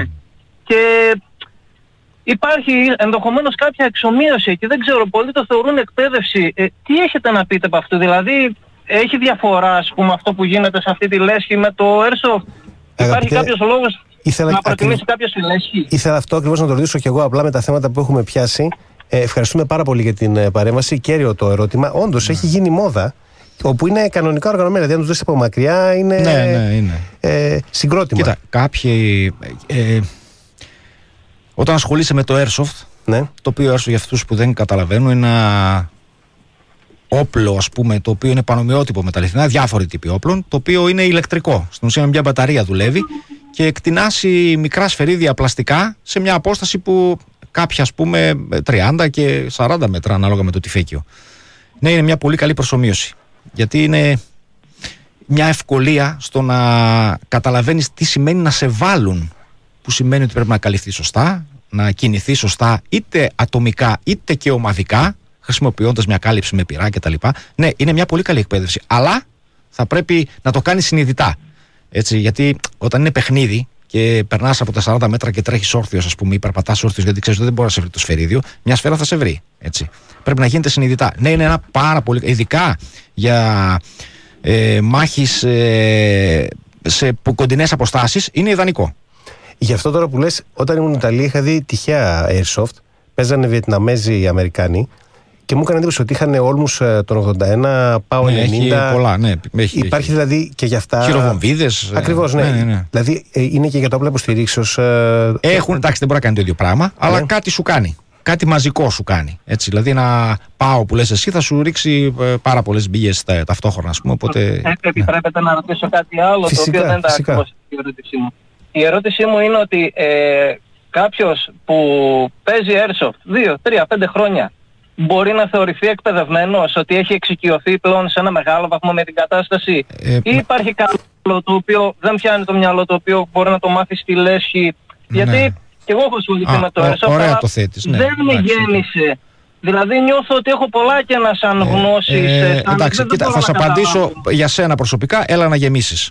Όσο αφορά. Άλλο εκπαίδευση, πρόσεξε με, άλλο εκπαίδευση και άλλο αυτό το παιχνίδι. Ναι, πιστεύω ότι κάνει πάρα πολύ καλό. Πραγματικά το εννοώ. Δηλαδή, εγώ πιστεύω ότι ένας άνθρωπος ο οποίος ασχολείται με το airsoft μπορεί πολύ πιο εύκολα, επειδή έχει κάποιες. Ε, έχει κάποια skills ατομικά, μπορεί πολύ πιο εύκολα να μάθει πράγματα. Έχει ένα καλό επίπεδο για να μάθει πράγματα και να μπει σε μια σοβαρή πραγματικά εκπαίδευση και να γίνει ένας καλός πολεμιστής. Αλήθεια. Πραγματικά το πιστεύω ότι μπορεί ένας που ασχολείται με αυτό το παιχνίδι να γίνει ένας πολύ καλός πολεμιστής. Μάλιστα. Ευχαριστώ πάρα πολύ. Ωραία. Εμείς ευχαριστούμε, ε, φίλε μου, για την ε, παρέμβαση. Πολύ κέρια η ερώτησή σου. Έχουμε και άλλη γραμμή; Ναι, παρακαλώ. Ναι, Γεια σας, καλησπέρα. Είστε στον αέρα. Ναι, ναι. Ναι, ναι. Να αναφερθώ σε ένα θέμα, το σκέφτομαι καιρό τώρα και μπορεί να γίνει πράξη στα ελληνικά στρατά. Ε, για- σε τι αναφέρομαι. Στον, στο δικαίωμα του τρόπου επιλογής των ε, επιστρατεύσιμων. Δηλαδή, μπ- βγαίνει κάποιος ε, στα ράδια, ακούτε στη γειτονιά και λέει εγώ είμαι υπερπατριώτης. Το έχετε ακούσει; Δεν, σα- δεν είναι εκεί στην καφετέρια που είσαστε; Ναι, όλοι μας το έχουμε Εγώ ακούσει, λέει ναι. άμα γίνει πόλεμος θα βγω προ, μπροστά. Ναι, ναι, ναι. Αυτός με κάποιο τρόπο δεν υπάρχει κάποιος τρόπος να πάει να δηλώσει ότι εγώ είμαι παρπατριώτης. Τη στιγμή της επιστράτευσης θα ήθελα να με στείλετε πρώτο στην πρώτη γραμμή. Ε, λοιπόν, δηλαδή ναι. δικαίωμα επιλεξιμότητας. Ωραία, μ' αρέσει Εγώ αυτό που παράδειγμα είπες. Είμαι λίγο δηλό. Π- Προσέξτε, ακούστε Ναι. με λίγο. Εγώ για παράδειγμα είμαι λίγο δηλός. Μπορώ να πάω να... Με αυτόν τον τρόπο προσέξτε κιόλας. Αποφεύγουμε και περιπτώσεις που λέμε ότι είναι λιποτάκτες, περιπτώσεις παράδειγμα αντιρρησίαν συνείδησης κτλ. κτλ.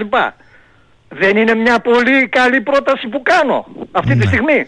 Δεν έχετε ακούσει, ε, εσείς περπατάτε στον δρόμο, δεν, λέτε, δεν σας λέει κάποιος, ε, είσαστε τι είσαστε, Τι είμαι εγώ; Λογα- Ταγματάρχης. Ταγματάρχης, έφεδρος. Ταγματάρχης. ε, ναι, δεν σας λέει ή και από, τα, και από το περίγυρο εκεί δεν σας λένε Α, εγώ άμα γίνει πόλεμο, πρώτος τα Ναι. αρχίζει μου μπροστά. Ε, δεν Ακούω και υπάρχει τα άλλα. τρόπος αυτός να Ακούω, πάει. εγώ θα φύγω, ακούω και τέτοια, ναι. ναι. Ναι, αυτός ρε παιδί μου, θα, άρα θα γίνει Ε, και μια επιλογή στο ωραία, στρατό. Θα πολύ ξέρουμε ωραία. ποιοι είναι οι μα- Πολύ οι πιο ωραία μάχες. πάσα. Δεν είναι πολύ σωστή η σκέψη μου. Πολύ ωραία πάσα μου δώσατε. Να Γιατί... υπάρχει κάποιος τρόπος, δηλαδή με τα ΚΕΠ θα πηγαίνει αυτός και θα λέει εγώ είμαι πολύ, σε πολύ θαραλέα στάση, θέλω να επιλεχτώ πρώτος Ωραία. στην πρώτη γραμμή. Να πάω εγώ που είμαι λίγο πιο δηλός, Ωραία να πω, πάσα μου «Ξέρετε δώσατε. κάτι». Ε, Αφήστε την μπάλα στα πόδια μου τώρα να κάνω δύο Ωραία. κινήσεις. Να είστε Ευχαριστώ- καλά, να είστε καλά. Ευχαριστούμε για την παρέμβαση. Για Αυτή πες, λοιπόν ναι. ήταν μία από τις προτάσεις μας εδώ Ναι. και τόσα χρόνια το οποίο προτείνουμε ας πούμε στην υπηρεσία. Να θεσμοθετηθεί ο εθελοντής έφεδρος. Πολύ απλά, ούτε αλλαγές σε νομοθεσίες κτλ.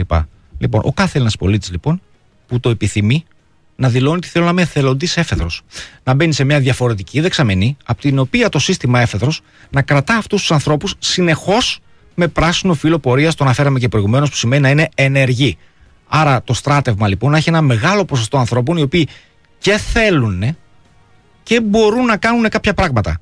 Αυτό θα λύσει πάρα πολλά προβλήματα. Και έχουμε πει την υπηρεσία, δίνουμε και την εικόνα. Πάντα όταν κάνουμε προτάσεις, δίνουμε την εικόνα. Λέω, φανταστείτε λοιπόν σε μια άσκηση του ελληνικού στρατού επιστρατευτική, το 20% των καλούμενων εφέδρων να είναι εθελοντές έφεδροι.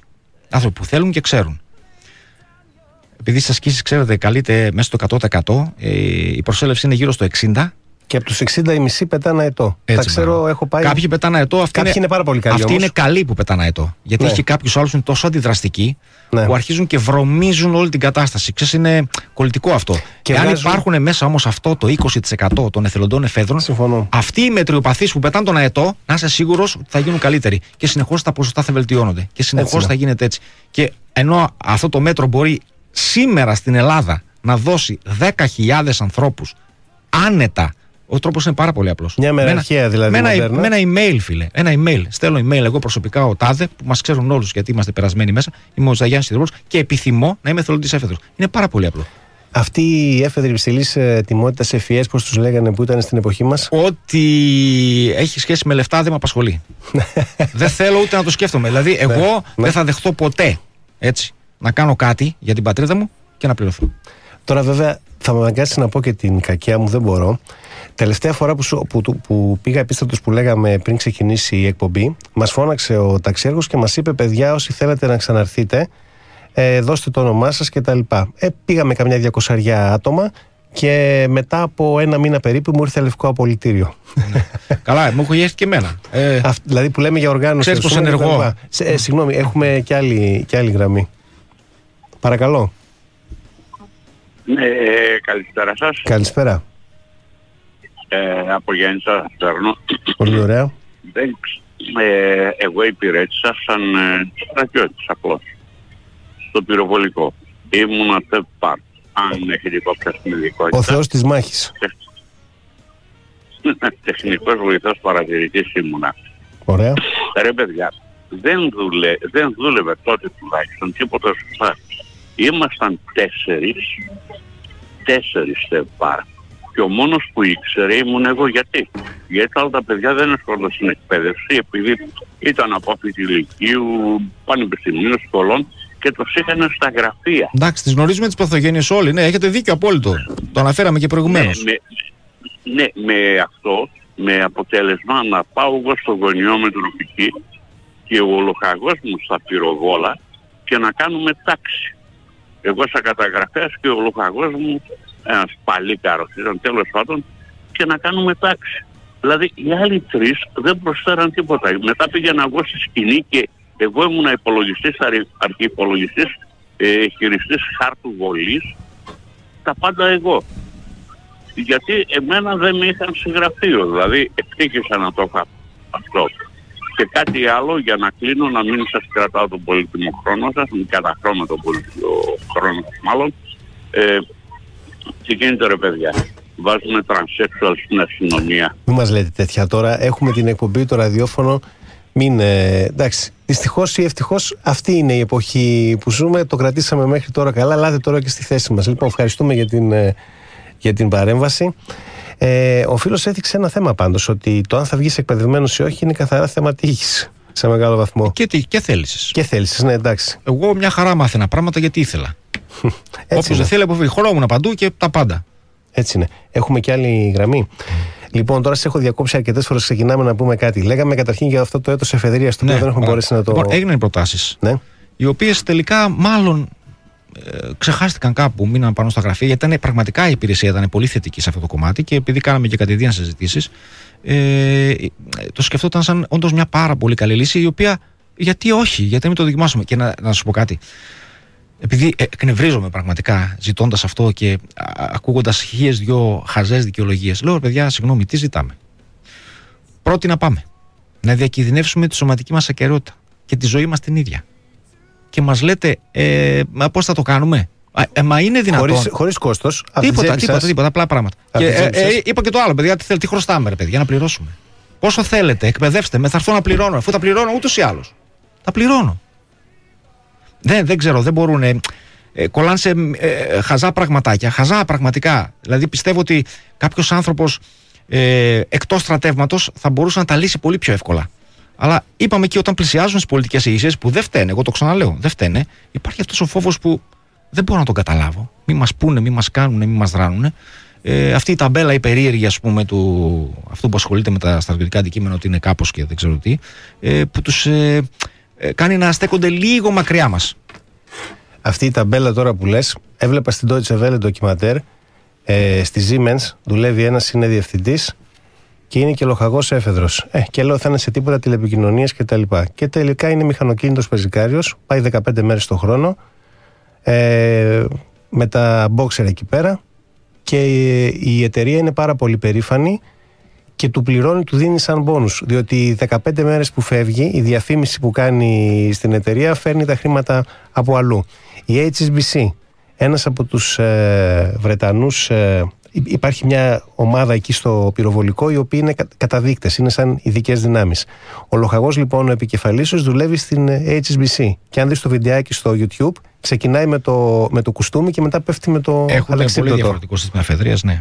Μιλάμε τώρα, εντάξει, mm. ίσως έχουμε γεννηθεί σε λάθος χώρα, αλλά δεν θέλω να το δεχτώ αυτό, γιατί σιγά σιγά, όπως λες, γίνονται βήματα. Όχι, εγώ να σου πω κάτι. Καταρχήν δεν θέλω να πολεμήσω. να το ξέρεις. δεν θέλω ναι. ούτε να το σκέφτομαι. Κανένας δεν θέλει. Θα βρεθώ απέναντι Πρέπει κάποιος να είναι βλάκας κάποιος για να, να με σκοτώσει και θα πρέπει ναι. να το σκοτώσω. Μα δεν είναι μόνο αυτό. Ε, πρέπει να είναι κάποιος χαζός για να θέλει να ναι, πολεμήσει. Ναι, μπράβο, ακριβώς. Αυτό, αυτό δεν σημαίνει ότι δεν πρέπει να προετοιμάζομαι. Γιατί άλλοι θέλουν. Μπορεί να μην θέλω εγώ. Η απέναντί μου είναι δεδομένο ότι θέλουν και κάποια στιγμή, εγώ το θεωρώ σίγουρο, ότι θα βρεθούμε σε μια τέτοια κατάσταση. Ε, ελπίζω μόνο να είμαι καλά μέχρι τότε και να μην είναι τα παιδιά μου. Και επειδή πιστεύω δεν σας ακούνε και πολλές γυναίκες, ας πούμε, νομίζω ότι η λύση πολύ σοβαρή είναι να απευθυνθούμε στο γυναικείο πληθυσμό. Γιατί μόνο αυτές μπορούν να καταλάβουν. Επειδή δεν έχουν πάει στο στρατό, δεν έχουν αυτή την αρρώστια που την έχουμε αποκτήσει όλοι, γιατί είναι κολλητικό αυτό έτσι. Έτσι είναι, έτσι είναι. Ναι.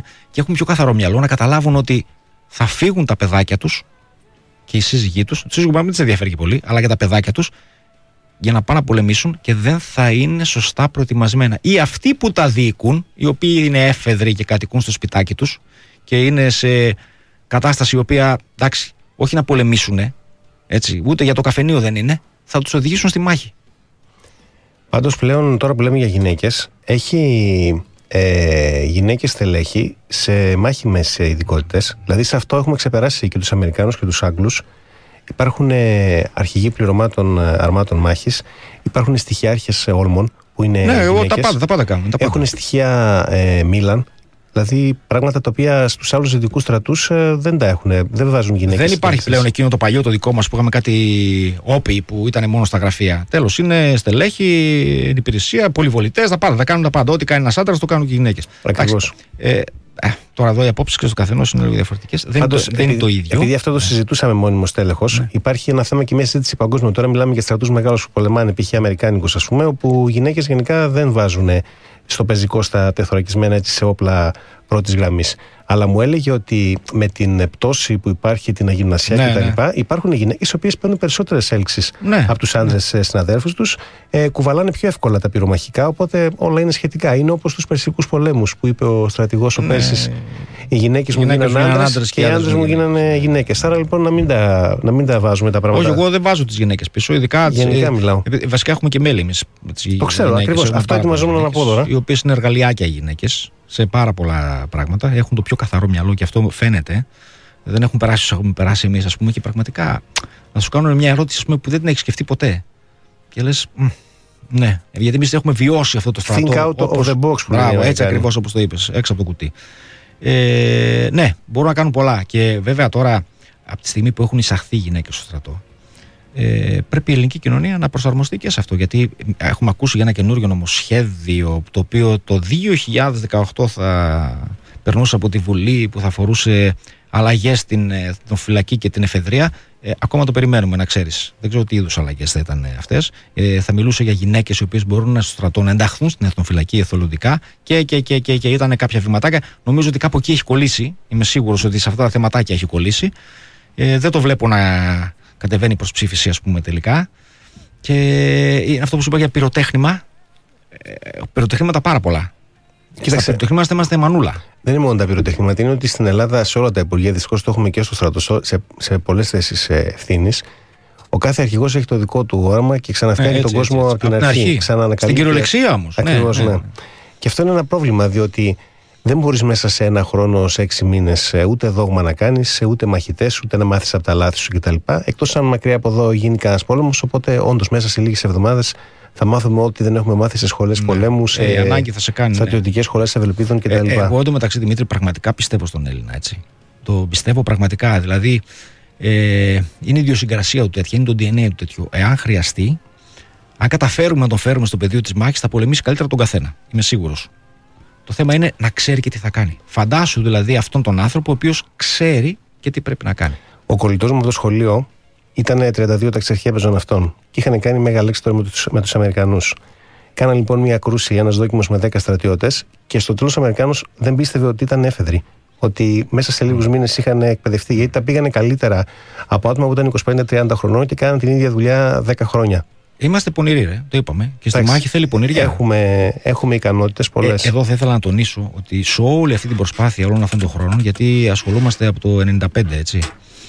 Ε, έχουν σταθεί δίπλα μας και μας έχουν δώσει τα φώτα τους ορισμένοι άνθρωποι στελέχη πρώην του ελληνικού στρατού απόστρατοι ε, οι οποίοι πραγματικά και είχαν πάρα πολλές γνώσεις τις οποίες μας τις έδωσαν ε, χωρίς καμία σκέψη ε, ασχολήθηκαν πάρα πολύ σοβαρά μαζί μας είναι ακόμα μαζί μας δόξα τον παντοδύναμο και στέκονται δίπλα μας και μας βοηθούν. Και το καλό ποιο είναι ότι πολλαπλασιάζονται αυτοί οι άνθρωποι. Έχουν και άλλοι άνθρωποι οι οποίοι πλέον είναι απόστρατοι τέλος πάντων και στέκονται δίπλα μας γιατί βλέπουν ότι όλο αυτό είναι αγνό. Έχει μεγάλη σημασία αυτό έτσι. Το ότι αυτό όλο είναι αγνό. Γιατί ε, είναι το, το περιβάλλον λίγο περίεργο και πολλοί τέτοιοι σύλλογοι ας πούμε έχουν ε, θεωρηθεί οτιδήποτε ασχολούνται με πολιτικές και τέτοια. Εμείς την έχουμε διώξει την πολιτική μέσα από τη λέσχη. Γι' αυτό είμαστε και φίλοι όλοι έτσι δεν ασχολούμαστε Εννοείται. καθόλου με πολιτική. Δεν μιλάμε καθόλου για αθλητικά, για να καταλάβεις. Ναι, ναι. Απαγορεύονται Το συζητήσεις άλλο αυτές. μεγαλύτερο πρόβλημα. Ναι, γιατί θα μαλώσουμε, θα πούμε καμιά Ε, Τόσο χαζομάρα. μάλλον, γιατί εγώ είμαι Αριανός, ας πούμε. Ε, να, να, αυτά Εντάξει. κάνεις και γι' αυτό Ναι. τέλος πάντων. Λόγω ναι. της perfect. Λοιπόν, έτσι, μπράβο. Ναι, Μα, Ναι. α- αυτό Ναι. ακόμα. Ναι. Φίλε, εδώ θα μιλάμε μόνο για αυτά τα πράγματα. Για θέμα εκπαίδευσης. Να διαφωνήσουμε εκεί. Εκεί θα διαφωνήσουμε. Και διαφωνούμε. Δεν συμφωνούμε όλοι στα πάντα. Αλλά μόνο για αυτά. Γι' αυτό είμαστε και που υπάρχουμε ακόμα. Ε, πραγματικά ήθελα να αναφερθώ σε αυτούς τους ανθρώπους γιατί όντως ε, το έργο τους φαίνεται τώρα. Μετά από τόσα χρόνια. Α πούμε και κανένα όνομα, δεν πειράζει. Διαφήμισες του Ε, κάνουμε. εντάξει, θα πω για το Γιώργο, ας πούμε.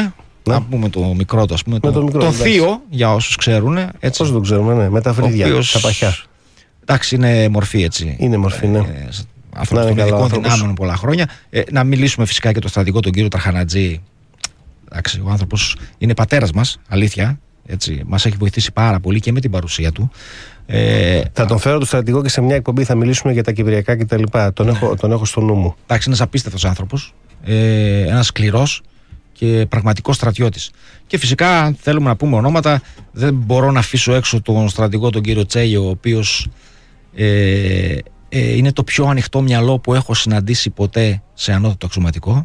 Ο οποίος έχει κάνει απίστευτα πράγματα που ούτε καν μπορούσαμε κι εμείς να πιστέψουμε ότι μπορούν να γίνουν. Να είναι καλό άνθρωπος. Ναι, είχε πάρει αποφάσεις οι οποίες ε, μπορούσαν να αλλάξουν τα πάντα. Δηλαδή, αυτό το τραγικό ότι, ότι ε, είμαι, έχω μια ειδικότητα, δεν μπορώ να την αλλάξω. Ήμουν στο ναυτικό, δεν μπορώ να πάω στο πεζικό. Ε, ήμουν εκεί, δεν μπορώ να πάω εκεί. Όχι. Τα πάντα αλλάζουν. Αρκεί να υπάρχει θέληση. Πάλι καλά.